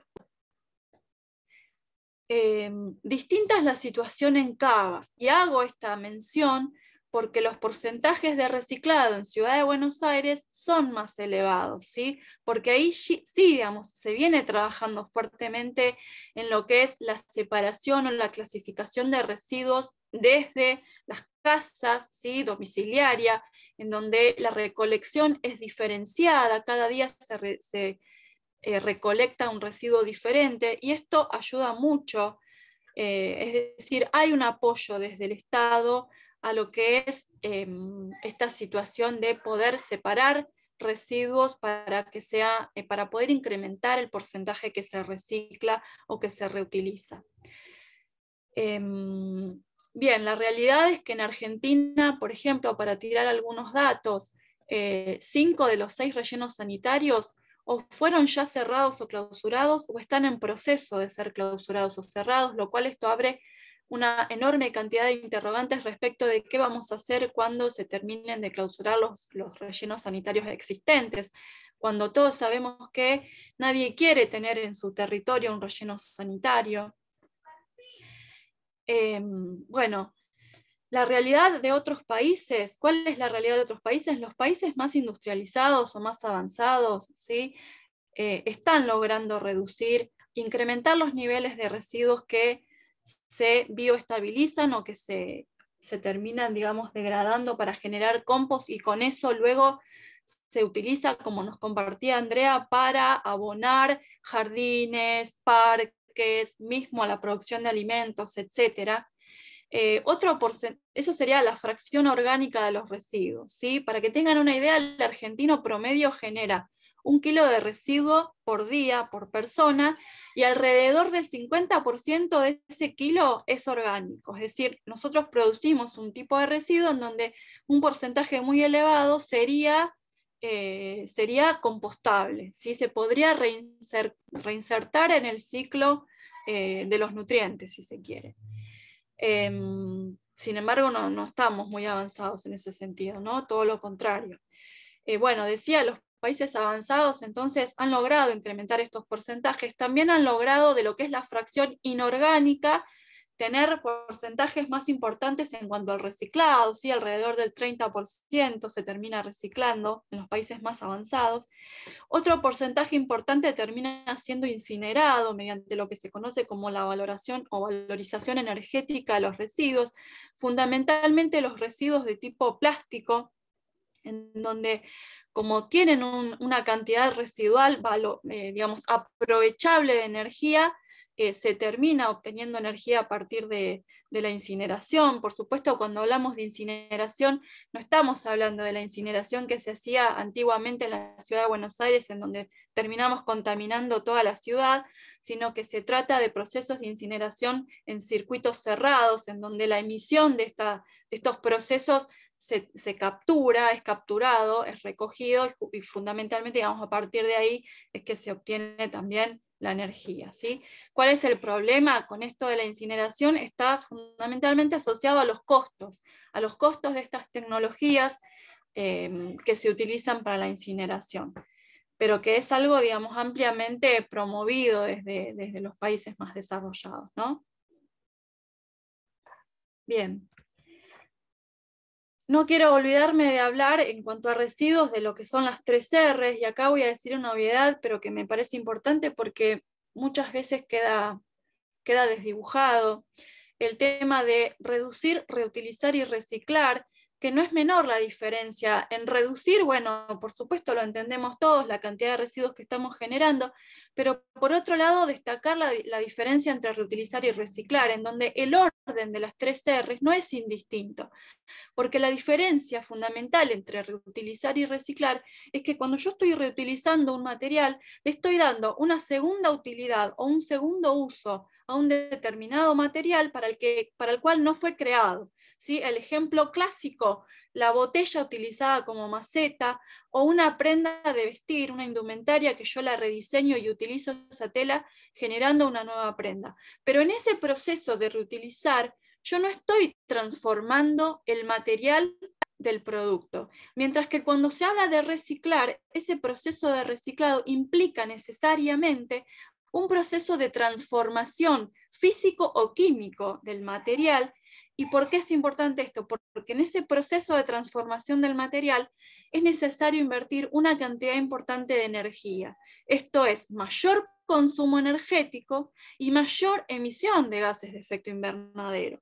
Con lo cual, el término, cuando hablamos de reciclar, bueno, ahí vemos por qué es importante primero reutilizar y por último reciclar, eh, y bueno, y también esto de no, enamorarnos en términos del reciclado. Algunos datos. el tema del reciclado, no todos los materiales se pueden reciclar. ¿sí? Esto es algo que se menciona también en el texto de Toledo cuando él habla de que no solamente se continúa creciendo en la cantidad de residuos que generamos, sino que además el tipo de los residuos está está, digamos, siendo modificado a lo largo del tiempo. Con el desarrollo de nuevos materiales, de nuevas tecnologías, esto de poder generar materiales, por ejemplo, que tienen dos o tres capas, hace que el, poder reciclar o reutilizar esos, esos residuos sea cada vez más complejo.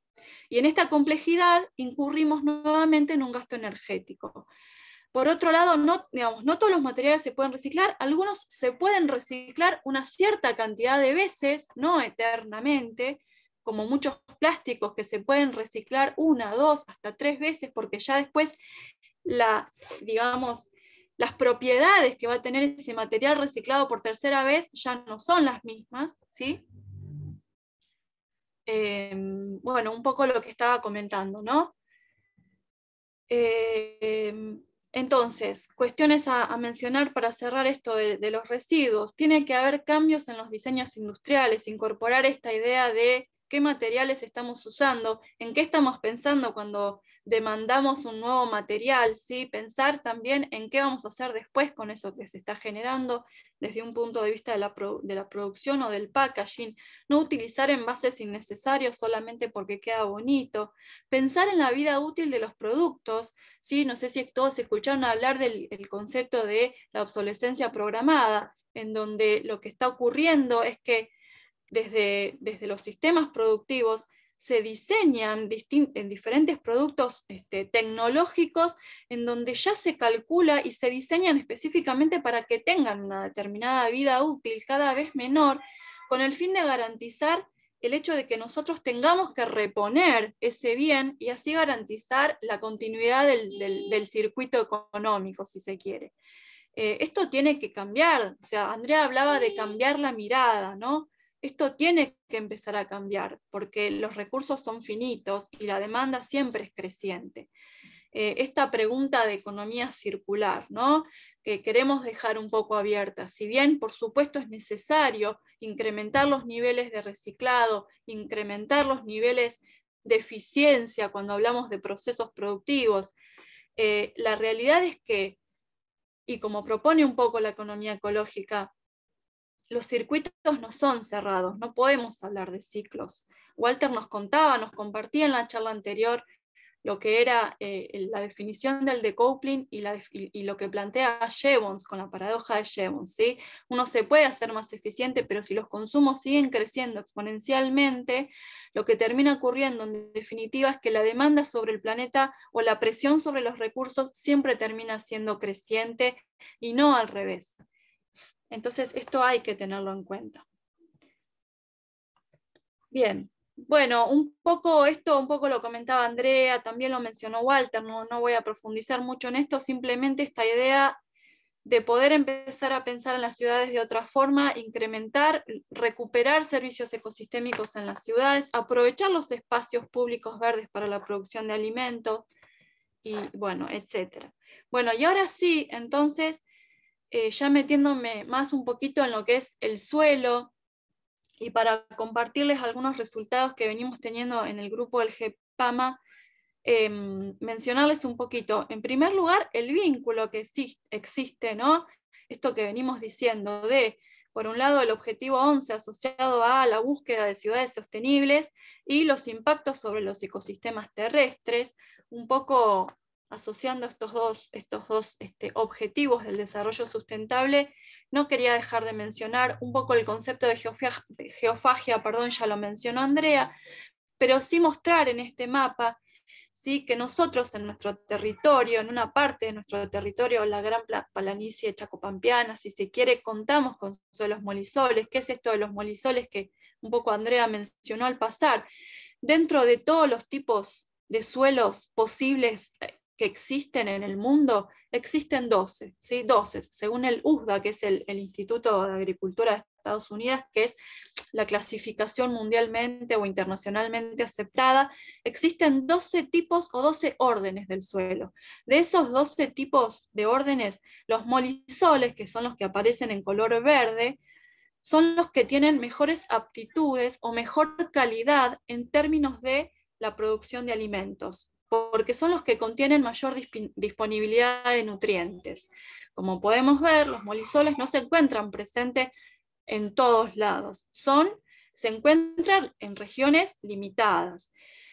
Si bien en términos territoriales los molisoles propios de nuestro territorio, digamos, no tienen una extensión tan grande como en otras regiones del mundo, no quiero dejar de mencionar la importancia estratégica a escala mundial de nuestros molisoles pampeanos en términos de dos cuestiones. Por un lado, si lo comparamos, por ejemplo, con lo que es el territorio de Estados Unidos y su planicie de molisoles, em, tenemos que mencionar que gran parte de este territorio de molisoles se encuentra durante cuatro o cinco meses del año bajo nieve, con lo cual esto representa una restricción importante en términos de producción de alimentos en términos climáticos. Y por ejemplo, si comparamos también con lo que es algunos territorios o algunos espacios de los molisoles presentes en el continente asiático, en donde el problema que ellos tienen en algunos espacios, vuelvo a repetir, es la falta de disponibilidad o serios problemas con la disponibilidad de agua. Estas dos características no están presentes en nuestro territorio, sino todo lo contrario. ¿Qué quiero decir con esto? Que nuestros suelos son uno de los mejores suelos del mundo, que además se le tiene que sumar la variable climática, un clima templado totalmente propicio para producir alimentos durante todo el año y también con buena disponibilidad de agua contenida en el suelo, que no es algo habitualmente, digamos, que, que, se encuentre disponible en cualquier región del mundo. Y esto debería ser contemplado y considerado a la hora de la planificación urbana, como mencionaba Andrea. Bueno, y ahora compartirles un poquito así lo del análisis cromatográfico.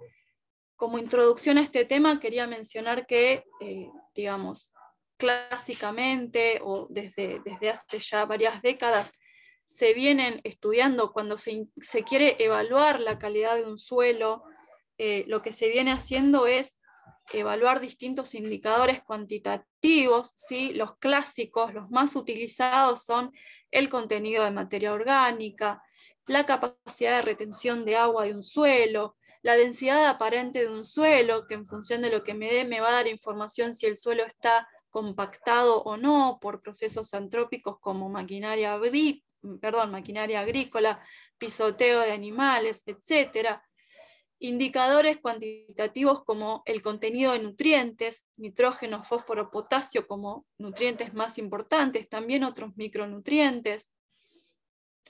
Indicadores como el porcentaje de humedad de un suelo, ¿sí? la cantidad de organismos que tiene, la biodiversidad de un suelo o la respiración de un suelo, son todos eh, valores o indicadores cuantitativos, físicos o químicos, el pH del suelo, la conductividad eléctrica, la capacidad que tiene un suelo para intercambiar cationes, son todos indicadores que se utilizan como indicador, digamos, como para evaluar eh, la calidad de un suelo, ¿sí?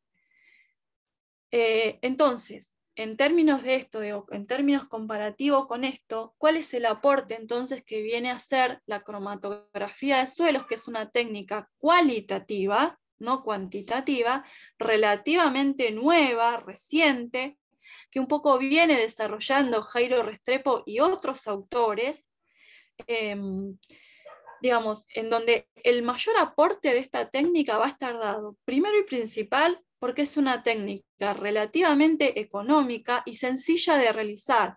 La pueden realizar los mismos productores, el costo es mucho menor si uno compara con lo que le sale a un productor pagar o financiar el estudio de calidad de un suelo en términos de los indicadores cuantitativos que mencionábamos recién. Em, ¿En qué consiste entonces o qué información nos está dando esto de la cromatografía de suelos? Como podemos observar, en esta parte, ¿sí? la parte de, abajo, la parte inferior, digamos, es la, imagen de lo que sería una parte de, un cromatograma. ¿sí? Es la separación física de los componentes del suelo, en donde cada uno de estos anillos está asociado con un componente del suelo y, y la forma la intensidad de los colores y la forma en la que se integran estos componentes me va a estar dando información de la calidad de ese suelo. Como podemos observar aquí, en la zona 1, el primer anillo, si se quiere, o la zona central del cromatograma o del croma, me va a estar dando información respecto de el nivel de oxígeno o la capacidad de aireación que va a tener un suelo. Esto va a estar asociado, por ejemplo, con la estructura de un suelo. Un suelo que esté compactado, que tenga mala estructura, que tenga poca oxigenación, me va a estar dando un croma con una coloración oscura, ¿sí? negra si se quiere. La coloración ideal deseada para una buena oxigenación es esta coloración, un color crema. ¿sí? Si esta zona no se manifiesta en el croma, significa lo que decíamos recién, que no tiene buena oxigenación, que no está bien aireado, que no tiene buena estructura ese suelo. En la segunda zona, llamada zona interna del cromatograma, es la zona donde se manifiestan la mayor eh, cantidad de reacciones con la fracción mineral del suelo, la fracción inorgánica. em, porque allí quedan retenidas las partículas más pesadas que, bueno, por supuesto van a tener una cierta coloración también, ¿no? Luego encontramos la tercera zona o el tercer anillo que me va a estar dando información que se llama zona intermedia, si se quiere, me va a estar dando información respecto del contenido de materia orgánica que tiene un suelo. Eh, y por último, la zona 4, la zona externa del croma, va a estar vinculado con toda la zona proteica o me va a estar dando información respecto de la capacidad em, que ese suelo tiene para eh, ser soporte de la microbiología del suelo, de los bichos, de la parte viva. ¿sí? Eh, cuanto más manchitas de color café encontremos en esta parte externa, ¿sí? en los bordes del cromatograma, mayor capacidad de actividad enzimática va a tener ese suelo. Es decir, lo deseable es encontrar eh, estos, estos, digamos, estas manchitas de color café que aquí se ven muy claritas, ¿no? pero se, se pueden visualizar un poco. Entonces, ¿qué estamos encontrando nosotros y por qué pensamos que esta metodología está realizando un aporte importante? Nosotros estuvimos realizando algunos análisis cromatográficos en suelos pampeanos, en donde comparamos fundamentalmente dos tipos de suelos. Si trabajamos con seis campos diferentes, digamos, cada campo tiene, son de productores diferentes, tienen historias diferentes, tienen prácticas de manejo diferentes.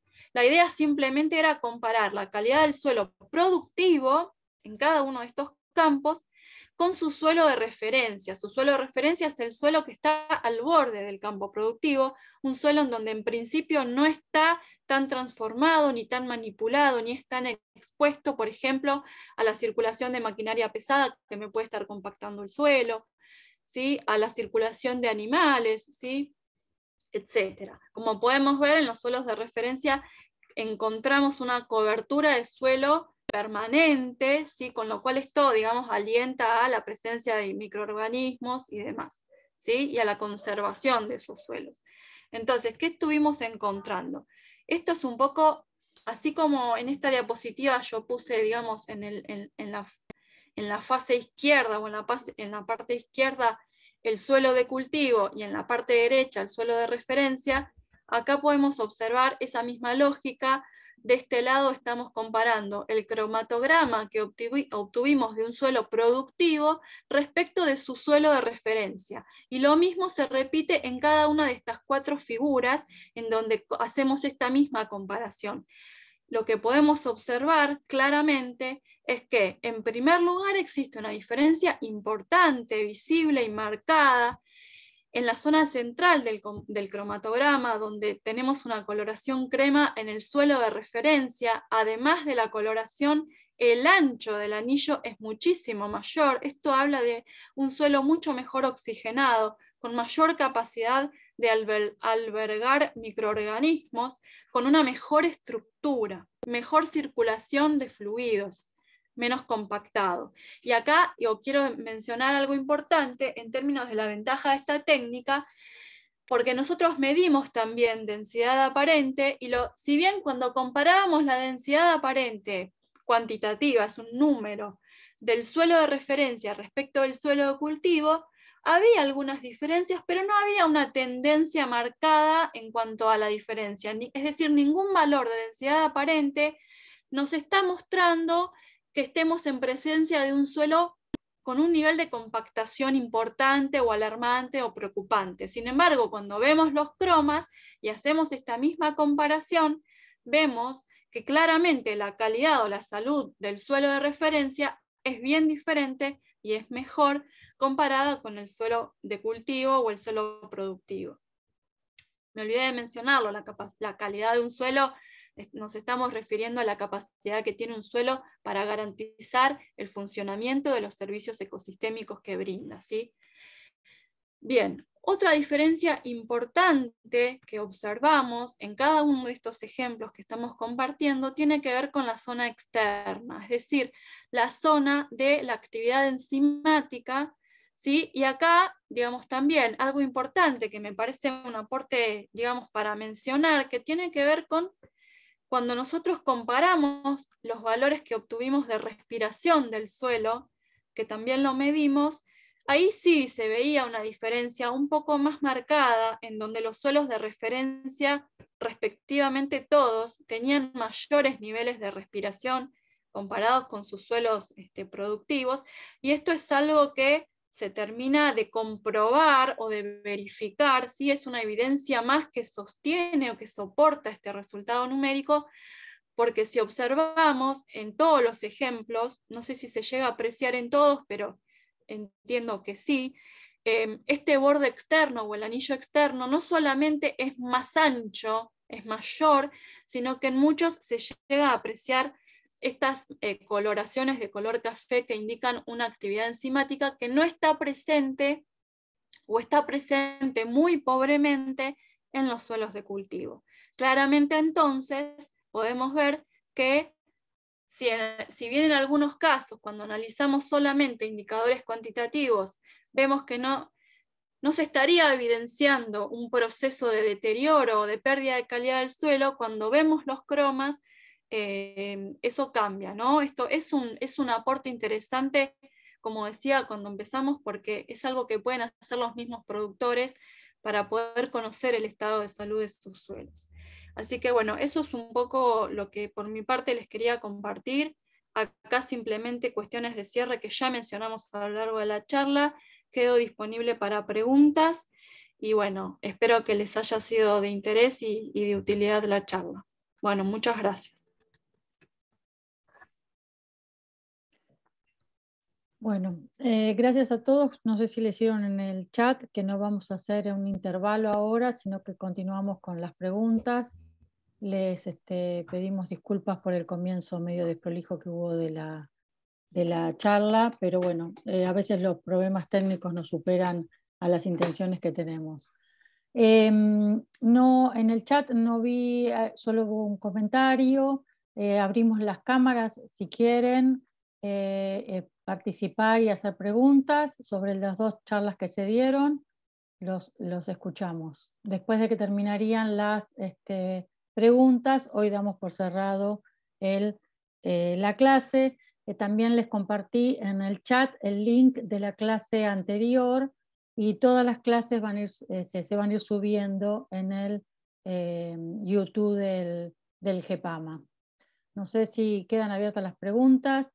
Eh, solamente eh, Virginia creo que ella había hecho un comentario en lo que estaba viendo, ella es de Tandil, que estaba viendo una vuelta otra vez al campo de, eh, la gente y en algunos lugares está dando eso, son procesos de, este, de urbanización que se dan en distintos lugares. En Europa se despobló el campo primero, se fueron a las ciudades, ahora se está incentivando para que vuelvan y los jóvenes con esta cosa de la este, agricultura sostenible está yendo un poco, pero no hay que olvidarse que siguen estando los este, pueblos despoblados. En la Argentina ese proceso de urbanización se da con más intensificación, en los cuales los bordes de las ciudades, lo que estamos viendo es cómo va creciendo y aumentando día a día su población y cómo va desapareciendo la gente de los campos y quedando los sistemas de producción cada vez más grandes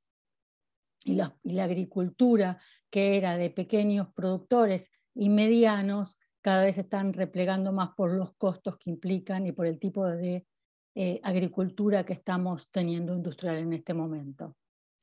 Eh, si alguien quiere leer los chats, eh, Laura, vos, si hacen preguntas o si quieren levantar las manos directamente.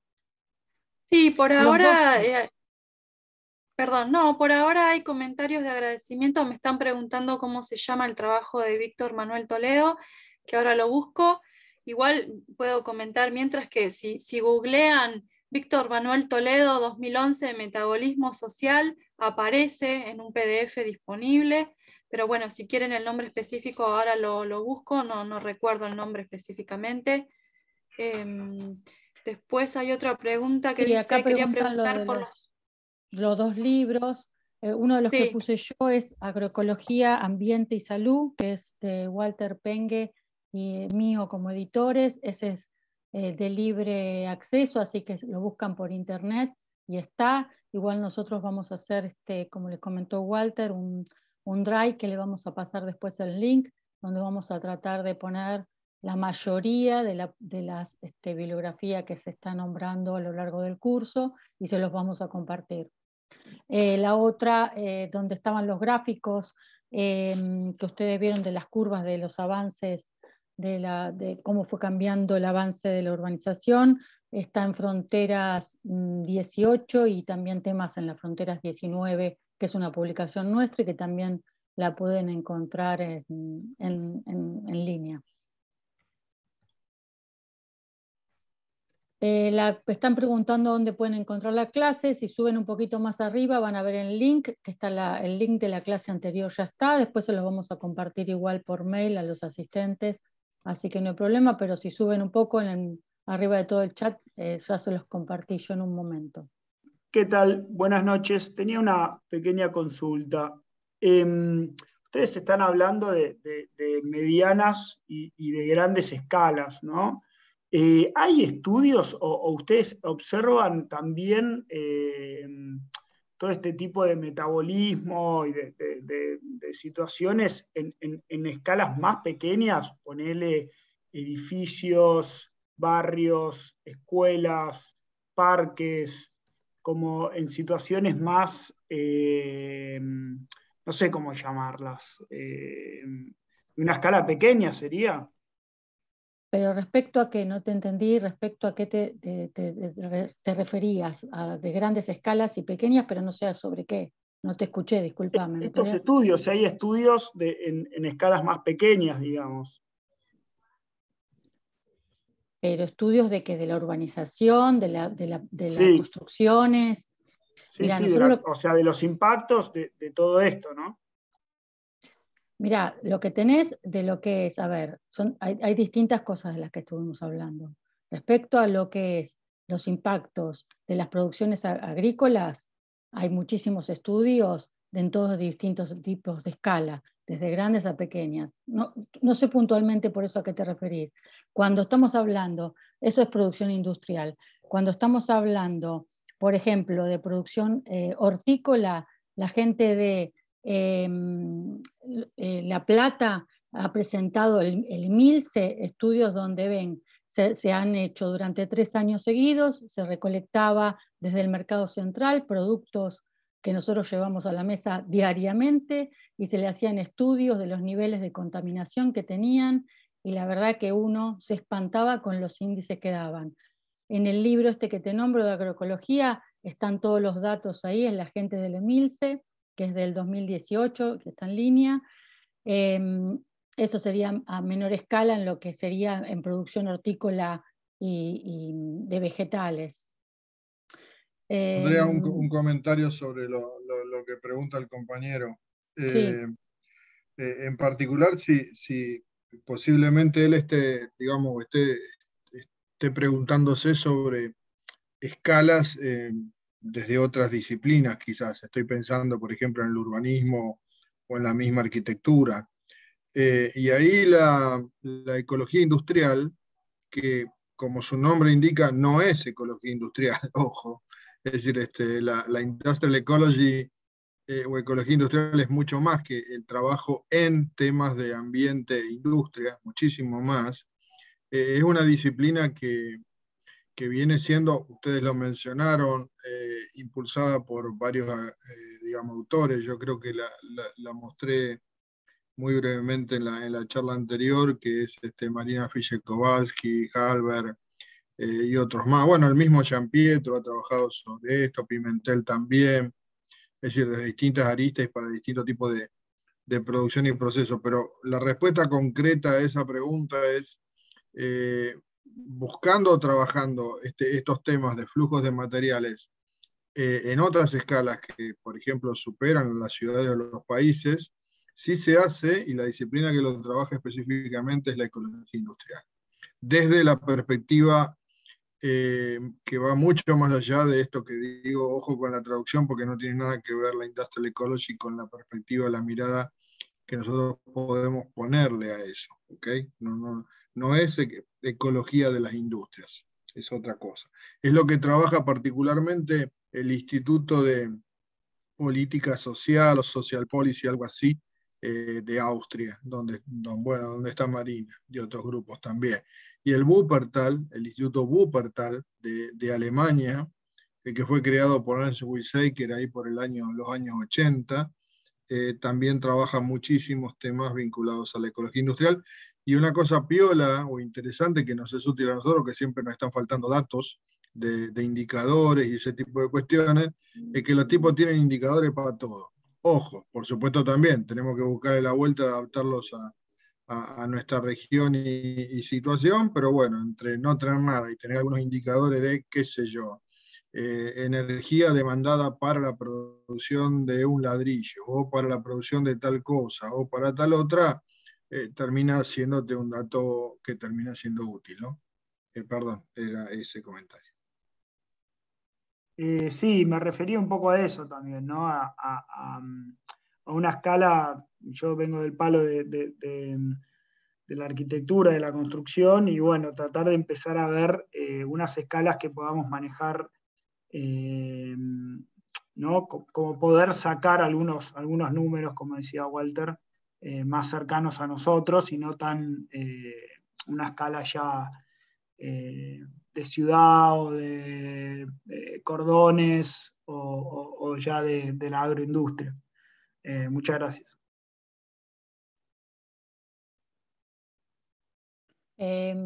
Miguel Falcón, que está levantando la mano. Buenas noches, ¿cómo están?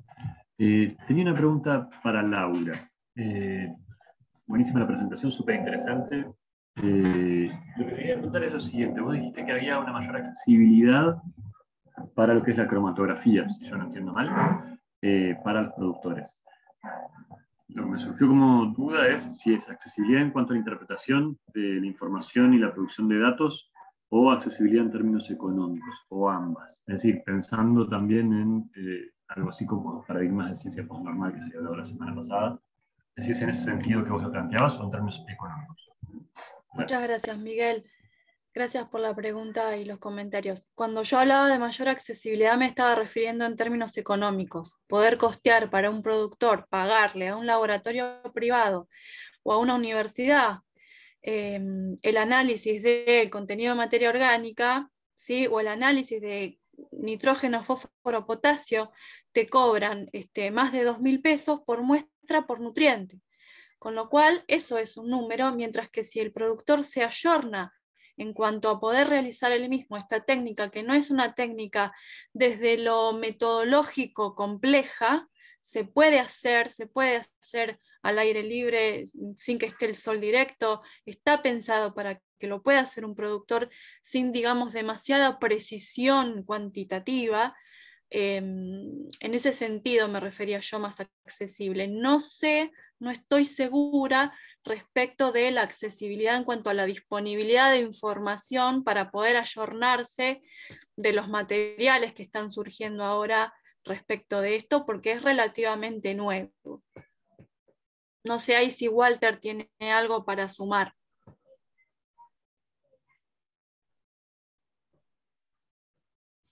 No, perdón, francamente Walter estaba en otra comunicación también, de un lío verbal. Perdóname. Bueno, tenemos a Guillermo que levantó la mano. Sí, ¿qué tal? Laura, yo quería volver sobre el tema del problema de la recarga de los acuíferos, que no lo entendí bien. Y también otra pregunta, aparte de lo mismo, sería, tengo entendido que en el planeta hace millones de años que la cantidad de agua es la misma, ¿no? Si tenemos problema con la recarga de los acuíferos, esa agua, ¿a dónde va? ¿A dónde queda? ¿Queda en la atmósfera? ¿Entendés la pregunta? Sí, hay un desbalance general en mucho, digamos, como consecuencia de las actividades humanas, tenemos muchos ejemplos, no solamente en el ciclo hidrológico, de desbalances o de desniveles. Por ejemplo, lo que se conoce también como la cascada de nitrógeno, donde se está mm. tomando nitrógeno del aire para producir fertilizantes sintéticos y se están colocando en el suelo, en donde ahí tenés un cambio en las cantidades relativas del nitrógeno. Si bien el nitrógeno total presente en el planeta es el mismo, la disponibilidad relativa o la cantidad relativa del nitrógeno eh, es diferente. Esto pasa un poco en el ciclo hidrológico. eh, tenemos derretimiento de los casquetes eh, glaciares, tenemos un aumento en el nivel del mar, ¿sí? Y estamos generando este desbalance porque no, o sea, la velocidad con la que extraemos em, no le estamos dando tiempo a que, a que se vuelva a recargar con la misma velocidad. Eh, parte está quedando, a ver, un poco se lo lleva la biomasa si estamos utilizando esa agua como sistema de riego. Parte estaríamos, eh, y, en términos eh, relativos o regionales o locales, incrementando los niveles de agua subterránea, perdón, superficial, ¿sí? si estamos extrayendo para una industria y esa industria luego vuelca alrededor del 85% de lo que utilizó lo vuelve al circuito superficialmente, en un río, en un curso de agua superficial, bueno, ahí se está modificando ese flujo. Pero es esto, es un desbalance, si bien la cantidad total es la misma, tenemos más en un lugar y menos en otro. Y sumado a esto, junto con lo que es el efecto de cambio climático, esto de que tenemos precipitaciones, inundaciones y por otro lado sequías. O sea, es esto, es esta misma desproporción, si se quiere, ¿no? Gracias. No, de nada. Eh, acá preguntaban, em, Andrés, si hay eh, ordenanzas referidos a estos temas.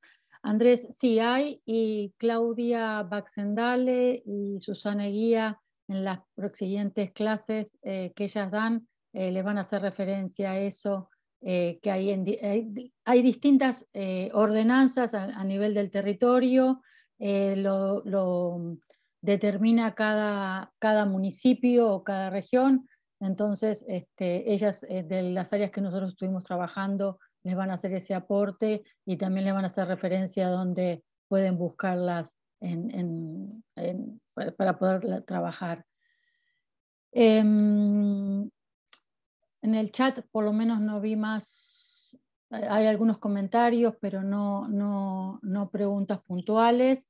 Eh, sí, acá Federico hace referencia a lo que es, eh, bueno, el, fomentar ¿no? estos cambios y estos programas, em, de, si no entendí mal, de, lo que es cómo se trabaja en las ciudades.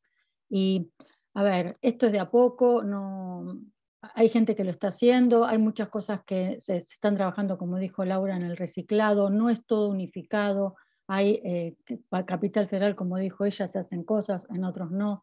La incorporación de lo que son los servicios culturales es, está muy dejado de, lado, em, no se valora, por ejemplo, yo estoy hablando de Argentina, ¿no? No, no se está valorando lo que es ese servicio que está brindando el verde, eh, hacia los ciudadanos, en otros lugares del mundo sí, eh, por eso esto de la agricultura urbana se, trabaja mucho con lo que es niños y como pregunta él, con personas mayores. Eh, acá hay propuestas, pero todavía no se, no se ha incorporado. Hay mini, este, mini emprendimientos, podríamos decir. Rosario es un gran ejemplo de las cosas que se pueden como trabajar y hacer bien las cosas. Eh, ganó un premio el año pasado como ciudad por todos estos, estos eh, trabajos que hacen y es un ejemplo a seguir. Tendríamos que tratar de aplicarlo en todas las ciudades de Argentina, lo cómo se trabaja en, Rosario. No sé, Laura, si vos viste alguna más, si alguien quiere levantar la mano. Eh, Pablo, te escuchamos. ¿Qué tal? Buenas noches. Em, volviendo un poquito al tema que mencionaba Andrea sobre servicios ecosistémicos urbanos y las infraestructuras verdes en las ciudades, em, yo un poco estoy trabajando sobre esos temas y me, pregunto sobre indicadores de servicios ecosistémicos eh, urbanos, porque hablamos esto de renaturalizar las ciudades, de reincorporar la biodiversidad o de la capacidad de captura de carbono, etcétera, de estas infraestructuras pero me cuesta mucho encontrar indicadores eh, de estos procesos biofísicos que sustentan de alguna manera estos servicios ecosistémicos, ¿no? más allá de las cuestiones culturales y de la diversidad eh, de usos y funciones que cumplen ¿no? en, en ámbito urbano y periurbano las infraestructuras verdes. Sí, a nivel internacional tenés indicadores. Hay algunos que se siguieron y, llevan bastante años, bastantes años que se están midiendo. podés eh, mirar en lo que es en WWF, en lo que es el de las Naciones Unidas. No todos los indicadores están, eh, no todos los servicios están medidos de la misma manera, pero sí vas a encontrar en lo que son sobre todo los reguladores, ¿no? y los servicios que brindan en, la regulación de, en las ciudades. Sobre todo esto se hizo eh, para lo que es para el apoyo del cambio climático, ¿no? Entonces, el, IPCC y muchos este, organismos internacionales impulsaran a, como necesitaban como insumo estos, esta información, a que se agilizara un poco esos temas de investigación. Gracias. No, de nada. El otro día, yo, mm, ahora que me acordé, eh, alguien hizo la pregunta de qué pasaba si estaba medido la contaminación eh, que se podía eh, tener en los alimentos dentro de las ciudades. Verdaderamente yo lo, había leído en las Naciones Unidas, hace ese comentario cuando habla de lo que es la agricultura urbana, que no se sabe exactamente cuál es el nivel de contaminación que puede llegar a tener eh, un tomate producido en el medio de la ciudad. Lo que sí nosotros, como lo dijo Walter, podemos saber cuánta carga de contaminación tiene, como recién les decía, lo que sí se está produciendo en un lugar que se supone que es donde se produce la horticultura que comemos. Ya le estamos poniendo los agroquímicos. Entonces, creo que tenemos que hacer un balance de qué es lo que comemos y no solo que a ah, lo de afuera en el borde va a ser más natural y va a estar este, menos contaminado que sea dentro de la ciudad, que es, donde nosotros estamos eh, respirando y todo. Entonces, pero hay que, faltan estudios a nivel mundial de realmente. Pero bueno, en la Argentina tenemos el problema que eh, estamos produciendo alimentos contaminados ya, ¿no? Con agroquímicos. Entonces, bueno. Andrea, ah, perdón que me, me largué a hablar, Virginia. Y sin tener un gusto. Muchísimas gracias a ambas por la, por las ponencias. Y también teniendo en cuenta que para usar el riego, eh, que también la lluvia está contaminada y es un factor que eh, es algo por ahí inevitable para uno. Eh, y también eso no, por ahí no se está midiendo. Mira, no sé respecto a lo que es las, lluvias, ¿no? lo que sí se tiene que tener muy en cuenta cuando es la agricultura urbana, qué tipo de aguas se utilizan no se puede utilizar aguas residuales. A ver, lo que, en Pro Huerta, eso era, nosotros trabajamos en Pro Huerta con el doctor Morelo, eh, Walter Pengue obviamente, yo era muy chica, este, ayer en el 99. Es, eh, excelente el programa Pro Huerta que vos hacías mención al inicio. Es interesante. Eh, ahí, ahí sí se tenía y se controlaba muchísimo y se asesoraba a toda la gente, así sea en las huertas eh, familiares o en las huertas comunitarias, que no se podía usar agua contaminada. ¿Qué quiere decir agua contaminada? No se podía usar el agua de eh, servicios del baño y todo para regar, y todo lo que se hacía en lo que era cerrar la, huerta para que no entraran animales domésticos. A ver, todo lo que es huerta urbana tiene que tener un control y una concientización hacia la gente que la está produciendo porque yo esté haciendo una eh, agricultura en el techo de mi casa, no quiere decir que no voy a tener los recaudos de la contaminación que puedo tener con los roedores, por ejemplo. Entonces, la gente cuando uno empieza a hacer, no es que yo voy a tener un tomate en el balcón de mi casa y va a ser fantástico, si yo no tomo las medidas y los recaudos necesarios de que estoy en un medio de ciudad en el cual tengo roedores, tengo animales que sí me pueden traer problemas también para, para la salud. Entonces, bueno, todo hay que hacerlo con, eh, con eh, ciertas eh, medidas y controles en, lo que se está produciendo. ¿no?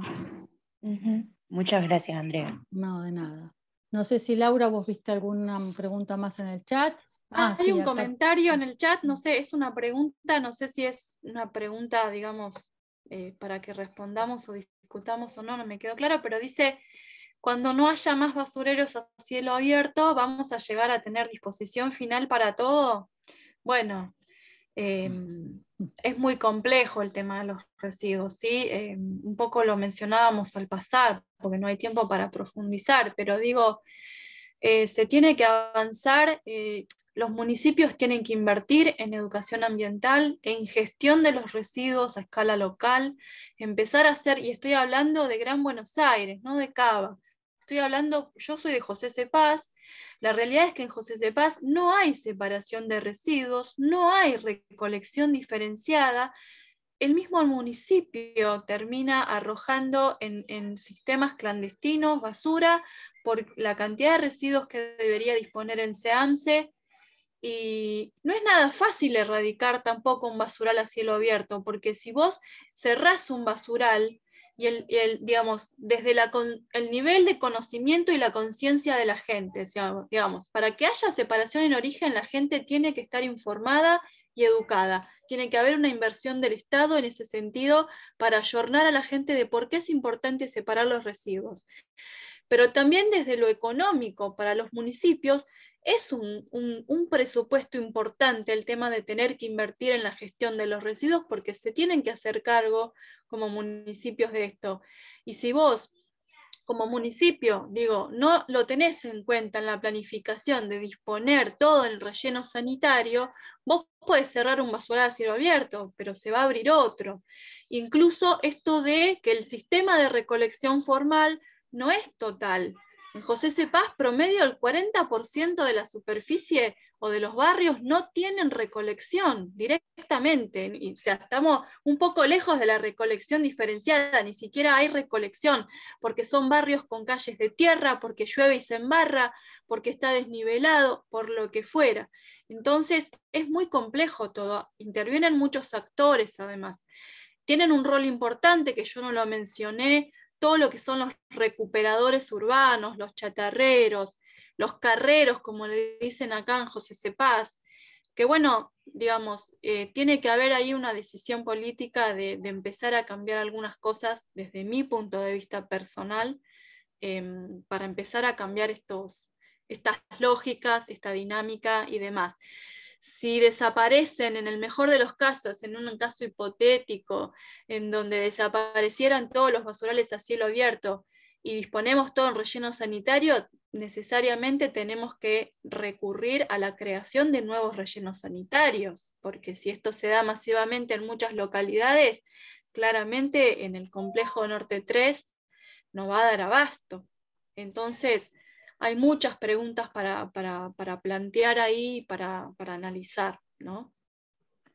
A, nivel mundial, el, problema de la basura es muy grave. ¿no? Hay islas enfrente de Nueva York, en Boston, que son de, basureros. ¿no? El problema es no, yo creo que no tenemos que plantear el no qué hacemos con la basura, es, sino el por qué no cambiamos el consumo que tenemos porque en la, manera en la que estamos consumiendo todo, yo me incluyo, eh, esto no, le vamos a encontrar el fin, ¿no? no, vamos a tener que ir más islas, más rellenos, eh, entonces creo que tienen que empezar a cambiar un poco eh, la mirada de la cultura. ¿no?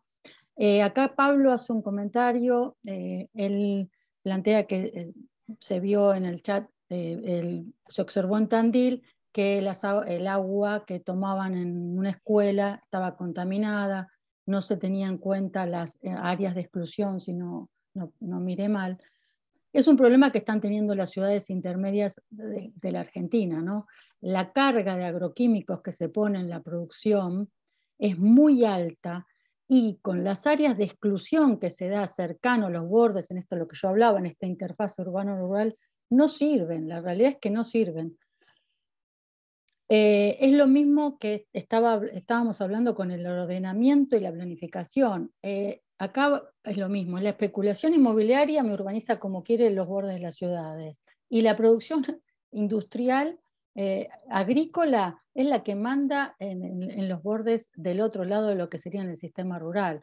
Entonces, uno puede, están demostrando los estudios que la gente tiene cáncer, eh, se está demostrando la contaminación que se provoca, uno lo ve en el territorio, cómo hay malformaciones en los árboles, y la gente que vive ahí a veces no, no hace este, cuerpo de lo que te está contando que le pasa a las plantas, y vos decís, pero si le pasa a la planta, vos también estás consumiendo y, este, aspirando ese aire y no lo llevan al cuerpo, pero si no cambiamos el sistema y la manera de producir, esto, el área de exclusión, ¿cuánto vamos a tener que pasar? ¿Qué vamos a poner? ¿Kilómetros y kilómetros? Entonces creo que tenemos que cambiar el sistema de producción. No podemos producir todo este, eh, agroecológico. Nosotros no planteamos eso, lo que nosotros planteamos es que tiene que haber áreas donde, como es el, EVAS, eh, áreas de buffer a lo que es alrededor de las ciudades con cierto tipo de producción. En otros lugares tiene que haber sistemas de producción industrial controlados y de cierta manera. Es, tenemos un territorio bastante grande para poder hacer una diversificación y un sistema ecoalimentario es, tenemos que ir por eso, por un sistema agro, agro perdón, con mi ecoagroalimentario. Eh, Leo, vos tenías la mano levantada. Hola, ¿cómo va? Eh, bueno, primero que nada, gracias por toda la, información súper interesante.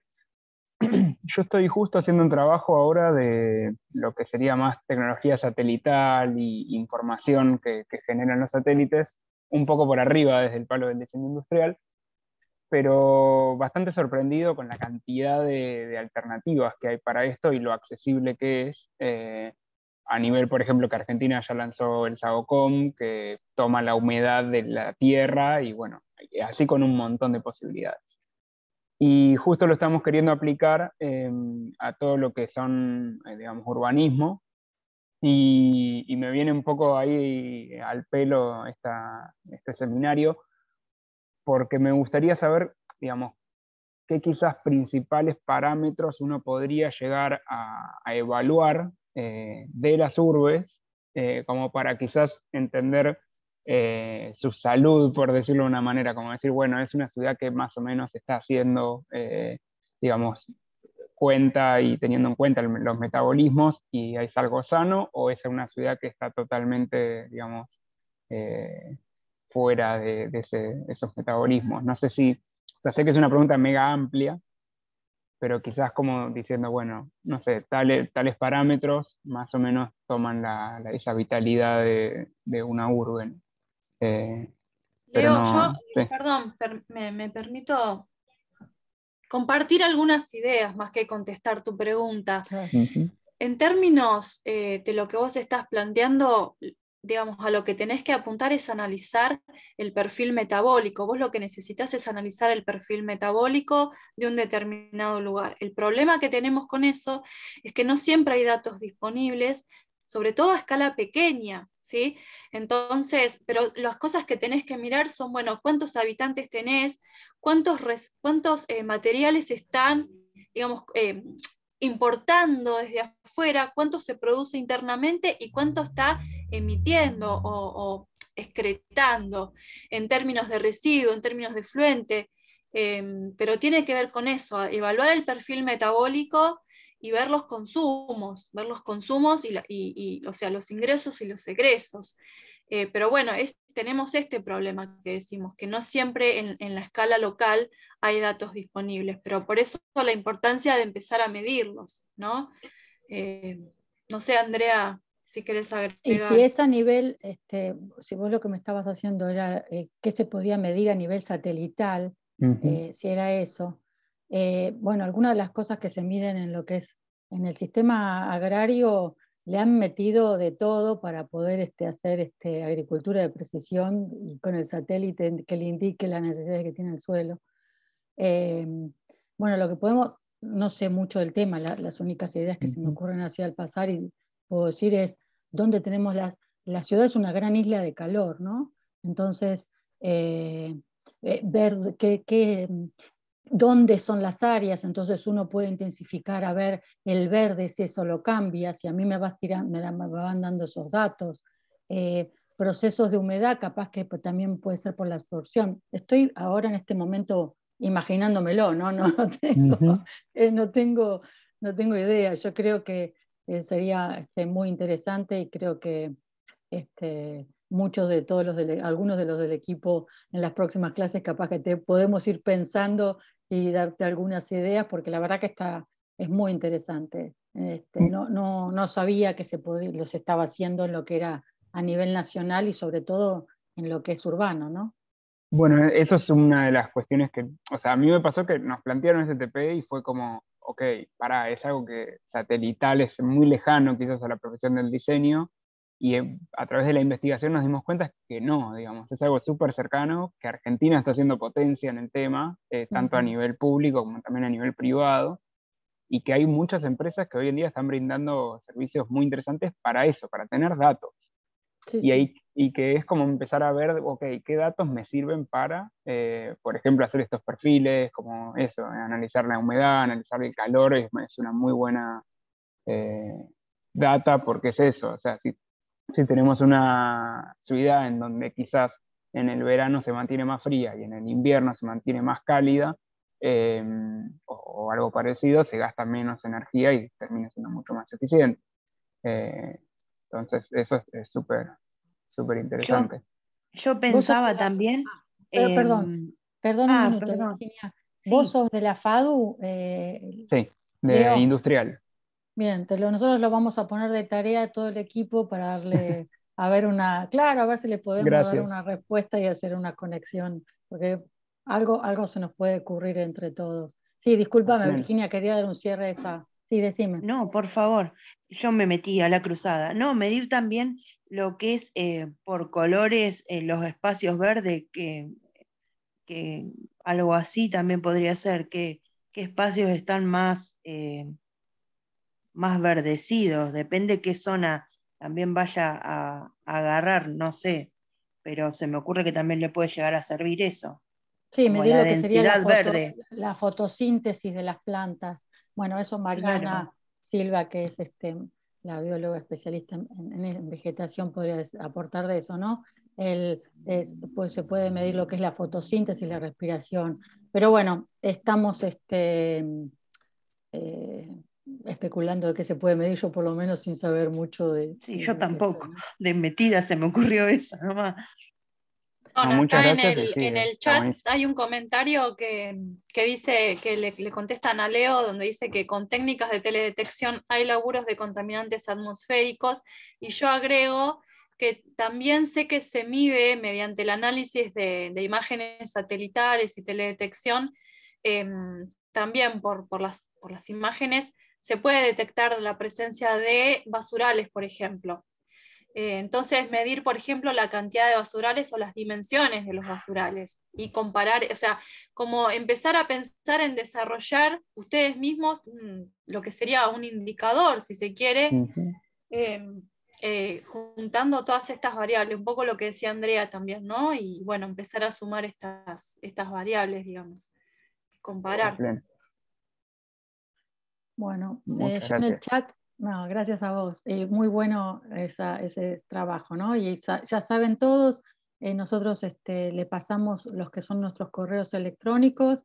estamos en el cuarto piso para lo que es a la comunidad de la FADU en el cuarto piso del lado de River.